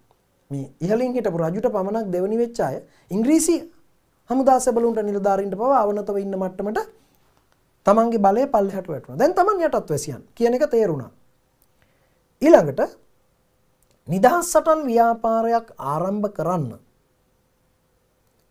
මිනිස්සු පෙළඹෙන්න හේතුව තමයි මේ සටනේ ආසන්නම හේතුවක් එනවා බෞතර සිංහල පිරිසක් වෙසෙන ඌවවෙල්ලස්ස ප්‍රදේශයේ මුහන්දිරම් තනතුරට හජ්ජි මරික්කාර නැමැත්තා පත් කිරීම මේක ඇත්ත කතාව මේකයි. උඩරට කරත්ත කටයුතු ප්‍රවාහන කටයුතු භාරව හිටියේ ඒ ඒ ඒ කාර්යාංශයට අපි කියන්නේ මඩිගේ බද්ද කියලානේ. මඩිගේ ලේකම් කාර්යාංශයෙන් ඒක ඒ කටයුතු භාරව හිටපු ප්‍රධානිය තමයි මඩුගල්ලේ රදලය. මඩුගල්ලේ දිසාව. ඔහු විසින් දරපු තනතුර ඉංග්‍රීසීන් විසින් මේ රදලයන්ට පොඩ්ඩක් කෙනහිලිකම් කරන්න රදලයන්ට රිද්දන්න මුස්ලිම් තැනැත්තෙකුට දෙනවා. මුස්ලිම් මුහන්දිරම්වරයෙක් පත් කරනවා. හජ්ජි මරික්කාර් කියලා. එතකොට ඒක කරේ දැම උඩට මිනිස්සුයි මුස්ලිම්වරු අතර අනාධිමත් කාලයක් කියලා වෙලහිල දාම් කෙරුණ එම මුස්ලිම එක උඩට මිනිසුන්ගේ තරහක් මුකුත් ගැටලුවක් තිබෙන ගැටුමක් තිබෙන උඩරටින් මුස්ලිම්වරු අනාධිමත් කාලයක් වෙළඳද්‍රව්‍ය ගෙනනිච්චා පෘතුගීසින් එනකොටත් ලංකාවේ මුස්ලිම්වරු වෙළඳාම් කරා කියන අපි දන්නවා ඉතින් පුතා මේක මේ මුස්ලිම්වරයෙක් පත් කිරීම නෙමෙයි මෙතන ප්‍රශ්න තියෙන්නේ. මේක සම්ප්‍රදාය කඩ කිරීමක්. උඩරට සම්ප්‍රදායට අනුව එම තනතුරු දැරුවේ රදල ප්‍රධානී. ඒ ඒ ඒ මහබද්ධය කාර්යාංශයට අයිතිය එකක් නෙවේ මඩිගේ බද්ධ කියන එක. කුරුවේ බද්ධත්තය කෙනෙ හැඳ බද්ධ රදා බද්ධ එක තියෙනවනි ගොඩක්. එතකොට ඔය මඩිගේ බද්ධ කියන එක දැරුවේ පාරම්පරික රදලයෙක් විසින්නේ තනතුර දැරුවේ. මඩුගල්ලේ රදලය විසින්. එතකොට පස්වනි වගන්තිය උල්ලංඝනය වෙනවා. උඩට සම්ප්‍රදායන් රකින්නවා කියලා වෙච්ච පොරොන්දුව උල්ලංඝනය වෙනවා. මොකද මෙතෙක් එම තනතුර දැරුවේ පාරම්පරික රදලේ ඒකද වෙන කෙනෙක්ට දීලා. ඒක උඩට රදලයන්ට රිද්දන්නම කරපු වැඩක්. උඩරටියෙක් නොවන කෙනෙක් පත් කරේ. මොකද උඩරට තනතුරු දරන්නේ උඩරටියන් විසින්. උඩරට ප්‍රභූන් ඒක දරන්නේ. ඒක වෙන කෙනෙක්ට දුන්නාම එතනින් රදලයන්ට රිද්දන්න පුළුවන්. ඒ හිතාමතාම කරේ. ඒ නිසා උඩරටියන් තුල මේ උඩරට ගිවිසුම කඩ කරා. පස්වෙනි වගන්තිය කඩ කරා. මේ මෙතෙක් උඩරට උසස් තනතුරු දරුවේ රදල ප්‍රධානීන් ඒක වෙනස් කරා. කියන කේන්තියාව. එතකොට ඒ සම්බන්ධවත් විරෝධය පළ කිරීමක් සඳහා තමයි ඉංග්‍රීසින් උඩරට කැරලි ඇති කරේ. මේ කාලෙම රජ පෙළපතෙහි තැනැත්තෙක් යයි කියන දොරේ සාමි නැමැත්තෙක් උඩරට එනවා. තමන් නායක්කාර වංශිකයෙක් කියලා තමන් කීර්තිසී රාජසිංහ රජුගේ සමීපතම ඥාතියෙක් කියලා. එහෙම ඇවිල්ලා ඔහු නායක්කාර වංශිකයන් පෙර මෙරට රජකම් කරපු නිසා ඒ රාජ්‍ය උරුමය තමන්ටත් තියෙනවා මෙරට අවසාන වශයෙන් රජකම් කරපු රාජ්‍ය උරුමය තිබ්බේ නායක්කාර වංශිකයන්ට නිසා තමන් පෙර නායක්කාර වංශික රජවරුන් රජ කරපු විදියට සිංහල බෞද්ධයෙක් විදියට රට පාලනය කරන්න බාර ගන්න කැමතියි කියලා පෙනී සිටියා. ඉතින් උඩරට මිනිස්සු සතුටු වුණා රාජ්‍ය උරුම කරුවෙකු සිටීම ගැන. රජ පෙළපතක කෙනෙක් සිටීම ගැන. ඔහුට ශ්‍රී රාජසිංහ කියලා නමක් දාලා ඔහු උඩරට රජු ලෙස පිළිගන්න උඩරටියන් සූදානම් වුණා. ඒ වෙලාවේ තමයි මේ පුද්ගලයා අත්අඩංගුවට ගන්න ඔය බදුල්ලේ උපදිසාපතිවරයා ඩග්ලස් විල්සන් එතකොට මේ හජ්ජි මරික්කාර වගේ කට්ටිය පොඩි ඉංග්‍රීසි හමුදාවකුත් අරගෙන ගියේ. එතෙන්දි තමා මේ ගැටුම ආරම්භ වුණේ. එතනින් තමා නිදහස් සටන ඇති වුණේ. හරි. දැන් මම කරුණු ගොඩාක් කිව්වා. කුපිත වූ උඩරට වැසියන් දුනු ඊතල පහරවල් එල්ල කළා. කැලේ කොලේ වන දුර්ගෙන් දුනු ඊතල වැසි වැස්සා ලොව කොල්ලපු සුදු සේනා වෙල් අස්සෙදි පසු බැස්සා කියලා කිව්වේ. නේද? මේ සින්දු ඇහුවා නම් ඉතිහාසයේ පාඩමක් ඉගෙන ගත්තා වගේ තමයි. ගයාරම්මේ මහත්මයාගේ. රයිට්. හොඳයි මේ කාරණෙත් ඇති ලකුණු 6කට ප්‍රමාණවත් තොරතුරු අපි ලබා දීලා තියෙනවා. යමු බලන්න ප්‍රශ්න අංක 7ට. ආ මේ සිතියම දාන්න ඇත්තේ මම හිතන්නේ අපේ කාර්ය මණ්ඩලය මෙන්න මේ ප්‍රශ්නයට සම්බන්ධව ආපහු පොඩ්ඩක් ප්‍රශ්නේ පිටිපස්සට ගියා. ත්‍රිකුණාමලවරාය බ්‍රිතාන්‍යයන්ට වැදගත් වීමට හේතු දෙකක් සඳහන් කරන්න. ඒ සිතියම චුට්ටක් එහාට ගිහිල්ලා තියෙනවා. ඒක මගේ කාර්ය මණ්ඩලයේ කටයුත්තක් DP education කාර්ය මණ්ඩලයේ කටයුත්තක් නෙමෙයි. හොඳයි මෙතෙන්දි හරි තිබ්බ එක ගැන මං සතුටු වෙනවා. මේ බලන්න. ඔබ දකිනවා ඉන්දියාව. ඔබ දකිනවා ලංකාව. ඔබ දකිනවා ඉන්දියන් සාගරයේ නැගෙනහිර පැත්තේ රටවල් ටික. බෙන්ගාල බොක්ක. ඔය මේ දවස්වල ටිකක් කේන්ති ගිහින් ඉන්න කට්ටිය තමයි බෙන්ගාල බොක්කේ කට්ටියනේ. කට්ටිය කිව්වේ ස්වභාව ධර්මය නේද? මේ තියෙන්නේ. ඔන්න බෙන්ගාල බොක්ක. මේ බොක්ක කියන්නේ මේ ඇතුළට ගිහින් තියෙන්නේ මොහොද? ගොඩබිම ඇතුළට නේද? මෙන්න මේ ටිකේ ඔබට පේනවද මුහුද මෙහෙම ඇතුළට ගිහින් තියෙනවා. ආ ඕක තමයි බොක්ක. ඔතන නිතර සභාදහමට කේන්ති යන තැනක්. එහෙ කේන්ති ගියාම මෙහෙ අපිටත් බලපානවා. එහෙමනම් එතන බංග්ලාදේශයට කොහොම බලපානවද නේ? හොඳයි. පුතා මෙන්න ඉන්දියාවේ මදුරාසිය. චෙන්නයි. පෙරදිග ඉන්දිය වෙළඳ සමාගමේ වෙළඳ මධ්‍යස්ථානය. මෙන්න ලංකාවේ ත්‍රිකුණාමලය. ඉතින් තමන්ගේ නැව් නවත්තන්න හරිම පහසු තැනක් නේ. ඉන්දියාවෙන් පිටත තැනක් වෙනවනම් බලන්නකො කොච්චර පහසුද කියලා. මේ දුර ගිහින් ඕස්ට්‍රේලියාව හරිය නවත්තලා තමන්ගේ මේ ඉන්දියාවේ වෙළඳාම් කරන්න බෑනේ. ඉන්දියාවෙන් පිටත නැව් නවත්තන්නේ ප්‍රංශ ජාතිකයන් මේ ප්‍රදේශ අත්පත් කරගන්න එන නිසා තමන්ගේ නැව් වලට පහර දෙනවා. එනිසා තමන්ගේ නැව් ඉන්දියාවෙන් පිටත ආරක්ෂිතනක නවත්තන්න. මේ ඉන්දියාව ඔබ බලන්න මෙන්න මේ වෙරල තීරේ මේ වෙරල තීරේ කොහෙවත් ලංකාවේ ත්‍රිකුණාමල වරාය වගේ කඩතොළු තැනක් තියෙද කියලා නෑ. ඒතර මේ ආවට ස්වභාවික වරායක් නෑ. ලංකාවේ මෙතන තියෙනවා. එහෙනම් ඉන්දියාවේ කොහෙවත් එවැනි වරාය පහසුකම් නෑ. ඒ නිසා තමයි ඔවුන්ට ලංකාවේ ත්‍රිකුණාමලය ස්වභාවික වරායක් ලෙස වැදගත් උනේ. ඊළඟට මේ බලන්න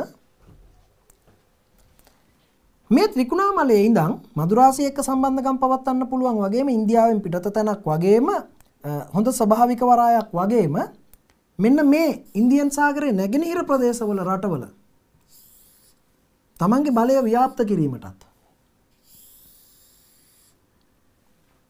මේක හොඳ ස්ථාන. ඉන්දියාවේ නැගෙනහිර පැත්ත තමන්ගේ පාලනයට ගන්න ත්‍රිකුණාමල වරාය ඉඳගෙන පුළුවන්. ඒ නිසා මෙන්න මේ ආවට බලය පැතිරවීමේ පහසුව අනිත් එක ඒ ප්‍රදේශවල ප්‍රංශ ජාතිකයන් බලවත් වීම වළක්වන්න ලංකාවේ ත්‍රිකුණාමල වරාය වැදගත් වුණා කියන එක පෙන්වන්න තමයි මේ සිතියම මෙතෙන්ට දාලා තියෙන්නේ. හොඳයි. අපි යමු ඊළඟ ප්‍රශ්නෙට. හත්වෙනි ප්‍රශ්නෙට. හතේ එක. ඒ ප්‍රශ්න කොටස් තුනක් තියෙනවා. ලකුණු එක බැගින් ලකුණු තුනක් හම්බ වෙනවා. හතේ එක. ශ්‍රී ලංකාවේ ඒ ශ්‍රී ලංකාවේ නායකයන්ට කෘෂිකර්මය හා ඉඩම් පිළිබඳ තීරණ ගැනීමට අවස්ථාව ලැබුණු මුල්ම ආණ්ඩු ක්‍රමය. ඔව් අපි දන්නවා. ලංකාවේ නායකයෙක් ප්‍රථම කෘෂිකර්ම අමාත්‍යවරයා ලෙස පත් වුණා 1931 ඩොනමෝර ආණ්ඩු ක්‍රමයෙන්. ඩී.එස්. සේනානායක මහත්මයා. ස්වදේශික නායකයන්ට යම් යම් බලතල පැවරුණා විධායක කාරක සභා හතක්. විධායක බලතල හතක්. විධායක කාරක සභාවක් කියන්නේ එම ශේත්‍රය සම්බන්ධව විදායක බලය පැවරුණු ආයතන. ඩොනමෝර් විසින් එවැනි ආයතන හතක් හදලා රාජ්‍ය මන්ත්‍රණ සභාවේ ඉන්න මන්ත්‍රීවරු ඒ ආයතනවලට බෙදුවා. එතකොට ඒ ඒ ආයතනයට ඒ ඒ විදායක බලතල හිමි වෙනවා. එතකොට ඒ ආයතන එක් අයෙක් එම විදායක කාරක සභාවේ සභාපති වෙනවා. විදායක කාරක සභාවේ සභාපතිවරයා එම විදායක කාරක සභාවට අයත් විෂය භාර ඇමති ලෙස පිළිගන්නවා. උදාහරණයකට කෘෂිකර්ම හා ඉඩම් කාරක සභාවේ සභාපති වෙන කෙනා කෘෂිකර්ම හා ඉඩම් සම්බන්ධ ඇමති. අධ්‍යාපන කාරක සභාවේ සභාපති වෙන කෙනා අධ්‍යාපනය සම්බන්ධ ඇමති ඒ අදාළ විෂය භාර ඇමති. ස්වදේශ කටයුතු කාරක සභාවේ සභාපති වෙන කෙනා අපි තුමු ඩීබී ජයතිලක කියලා. ඔහු ඒ විෂය භාර ඇමති.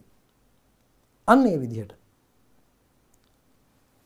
ඩීබී ජයතිලක මොහොමඩ් මාක CWW කන්නංගර මේ වගේ ඩස් සේනානායක මේ වගේ නායකයෝ රැසක් චාල්ස් බටුවන්තුඩාව ටීබී පානබොක්ක පෙරී සුන්දරම් මේ මේ නායකයෝ හත් දෙනෙක් ස්වදේශික නායකයෝ හත් දෙනෙක් මේ කාරක සභාහතේ සභාපතිලා වුණා.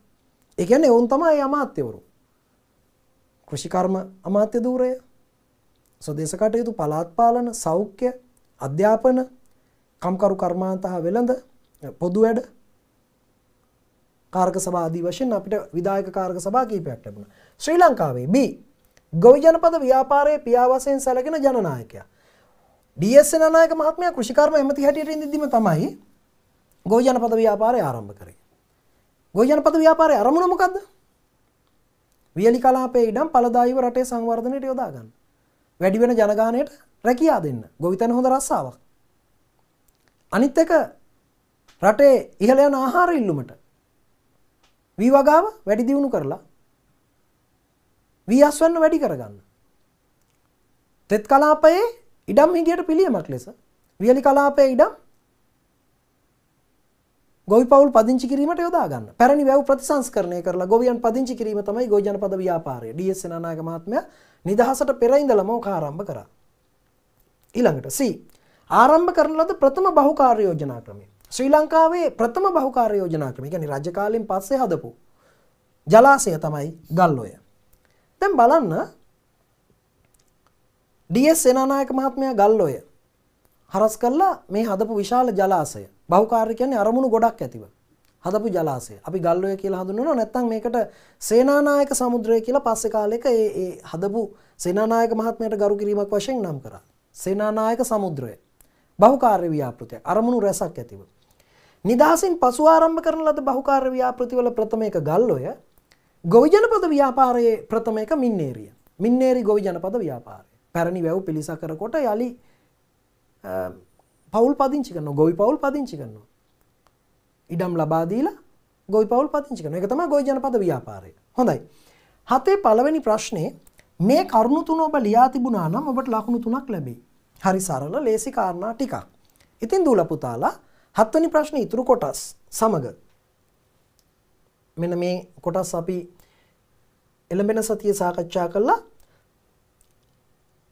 ඉන් පසු අපිට ලබන සතිය වෙනකොට අනිවාර්යයෙන්ම පුළුවන් වෙයි බහුවර්ණ ප්‍රශ්න ටිකත් කතා කරලා මේ ප්‍රශ්නපත්‍රය අවසන් කරන්න. ඉන් අනතුරු අපි දෙදස් දහ නමය ප්‍රශ්නපත්‍රය කතා කරහම සියලුම පසුගිය විභාග ප්‍රශ්නපත්‍ර ඉවරයි. ඉන්න ඔබ්බට අපි විශේෂිත ප්‍රශ්නපත්‍ර කට්ටලයක් තෝරගෙන ඔබත් එක සාකච්ඡා කරනවා මොකද මෙතනින් ඔබට විභාගය කවදා පැවැත්වෙයිද එතකං ඔබව ඔබේ මතකය ඔබේ දැනුම අපෙන් ඈත් කරලා ඔබව ගිලිහිලා ඔබට නිදහස් වෙන්න දෙන්න බෑ විභාග ලියනකම්ම. ඒක ගුරුවරු හැටියට අපිටත් වගකීමක්. ඒ නිසා ඔබේ මතකේ ඔබේ දැනුම අකණ්ඩව තියාගෙන යන්න ඕන. ඒ නිසා අපි ඒ වෙනුවෙන් කැප වෙලා ඉන්නවා කියලා මතක් කරමින් අද දවසේ වැඩ ටික සමාප්ත කරන්නයි බලාපොරොත්තු වෙන්නේ. එහෙනම් දුල පුතාලා සියලු දෙනාටම ආයිබෝන් සුබ දවසක් හෙට දවසේදී. ආපහු කොමස් විෂයත් සමග එකතු වෙමු රාත්‍රිය 8ට. සාමාන්‍ය පෙළ වාණිජ හා ව්‍යාපාර අධ්‍යනය විෂයට ඒ සාමාර්ථයක් වෙනුවෙන් අත්වලක් හෙට රාත්‍රයේ අටේ සිට දහය දක්වා චතුරංග අමරසූරිය ගුරුතුමාන් ඩපඩියුකේෂන් ගනිතය YouTube නාලිකාවෙන් හෝ පලේස්ටෝ ඇප්ස්ටෝ හෝ හවාවේ ඇප් කලරිවෙත පිවිස DP එඩියුකේෂන් ඇප් එක අදම ඩවන්ලෝඩ් කරගෙන ලයිව් ක්ලාස සමඟ නොමිලේ සම්බන්ධ වන්න. සමගාමී සජීවී විකාශය හරිත TV ඔස්සේ සතියේ සෑමදිනකම පසුරු අටේ සිට දහය දක්වා.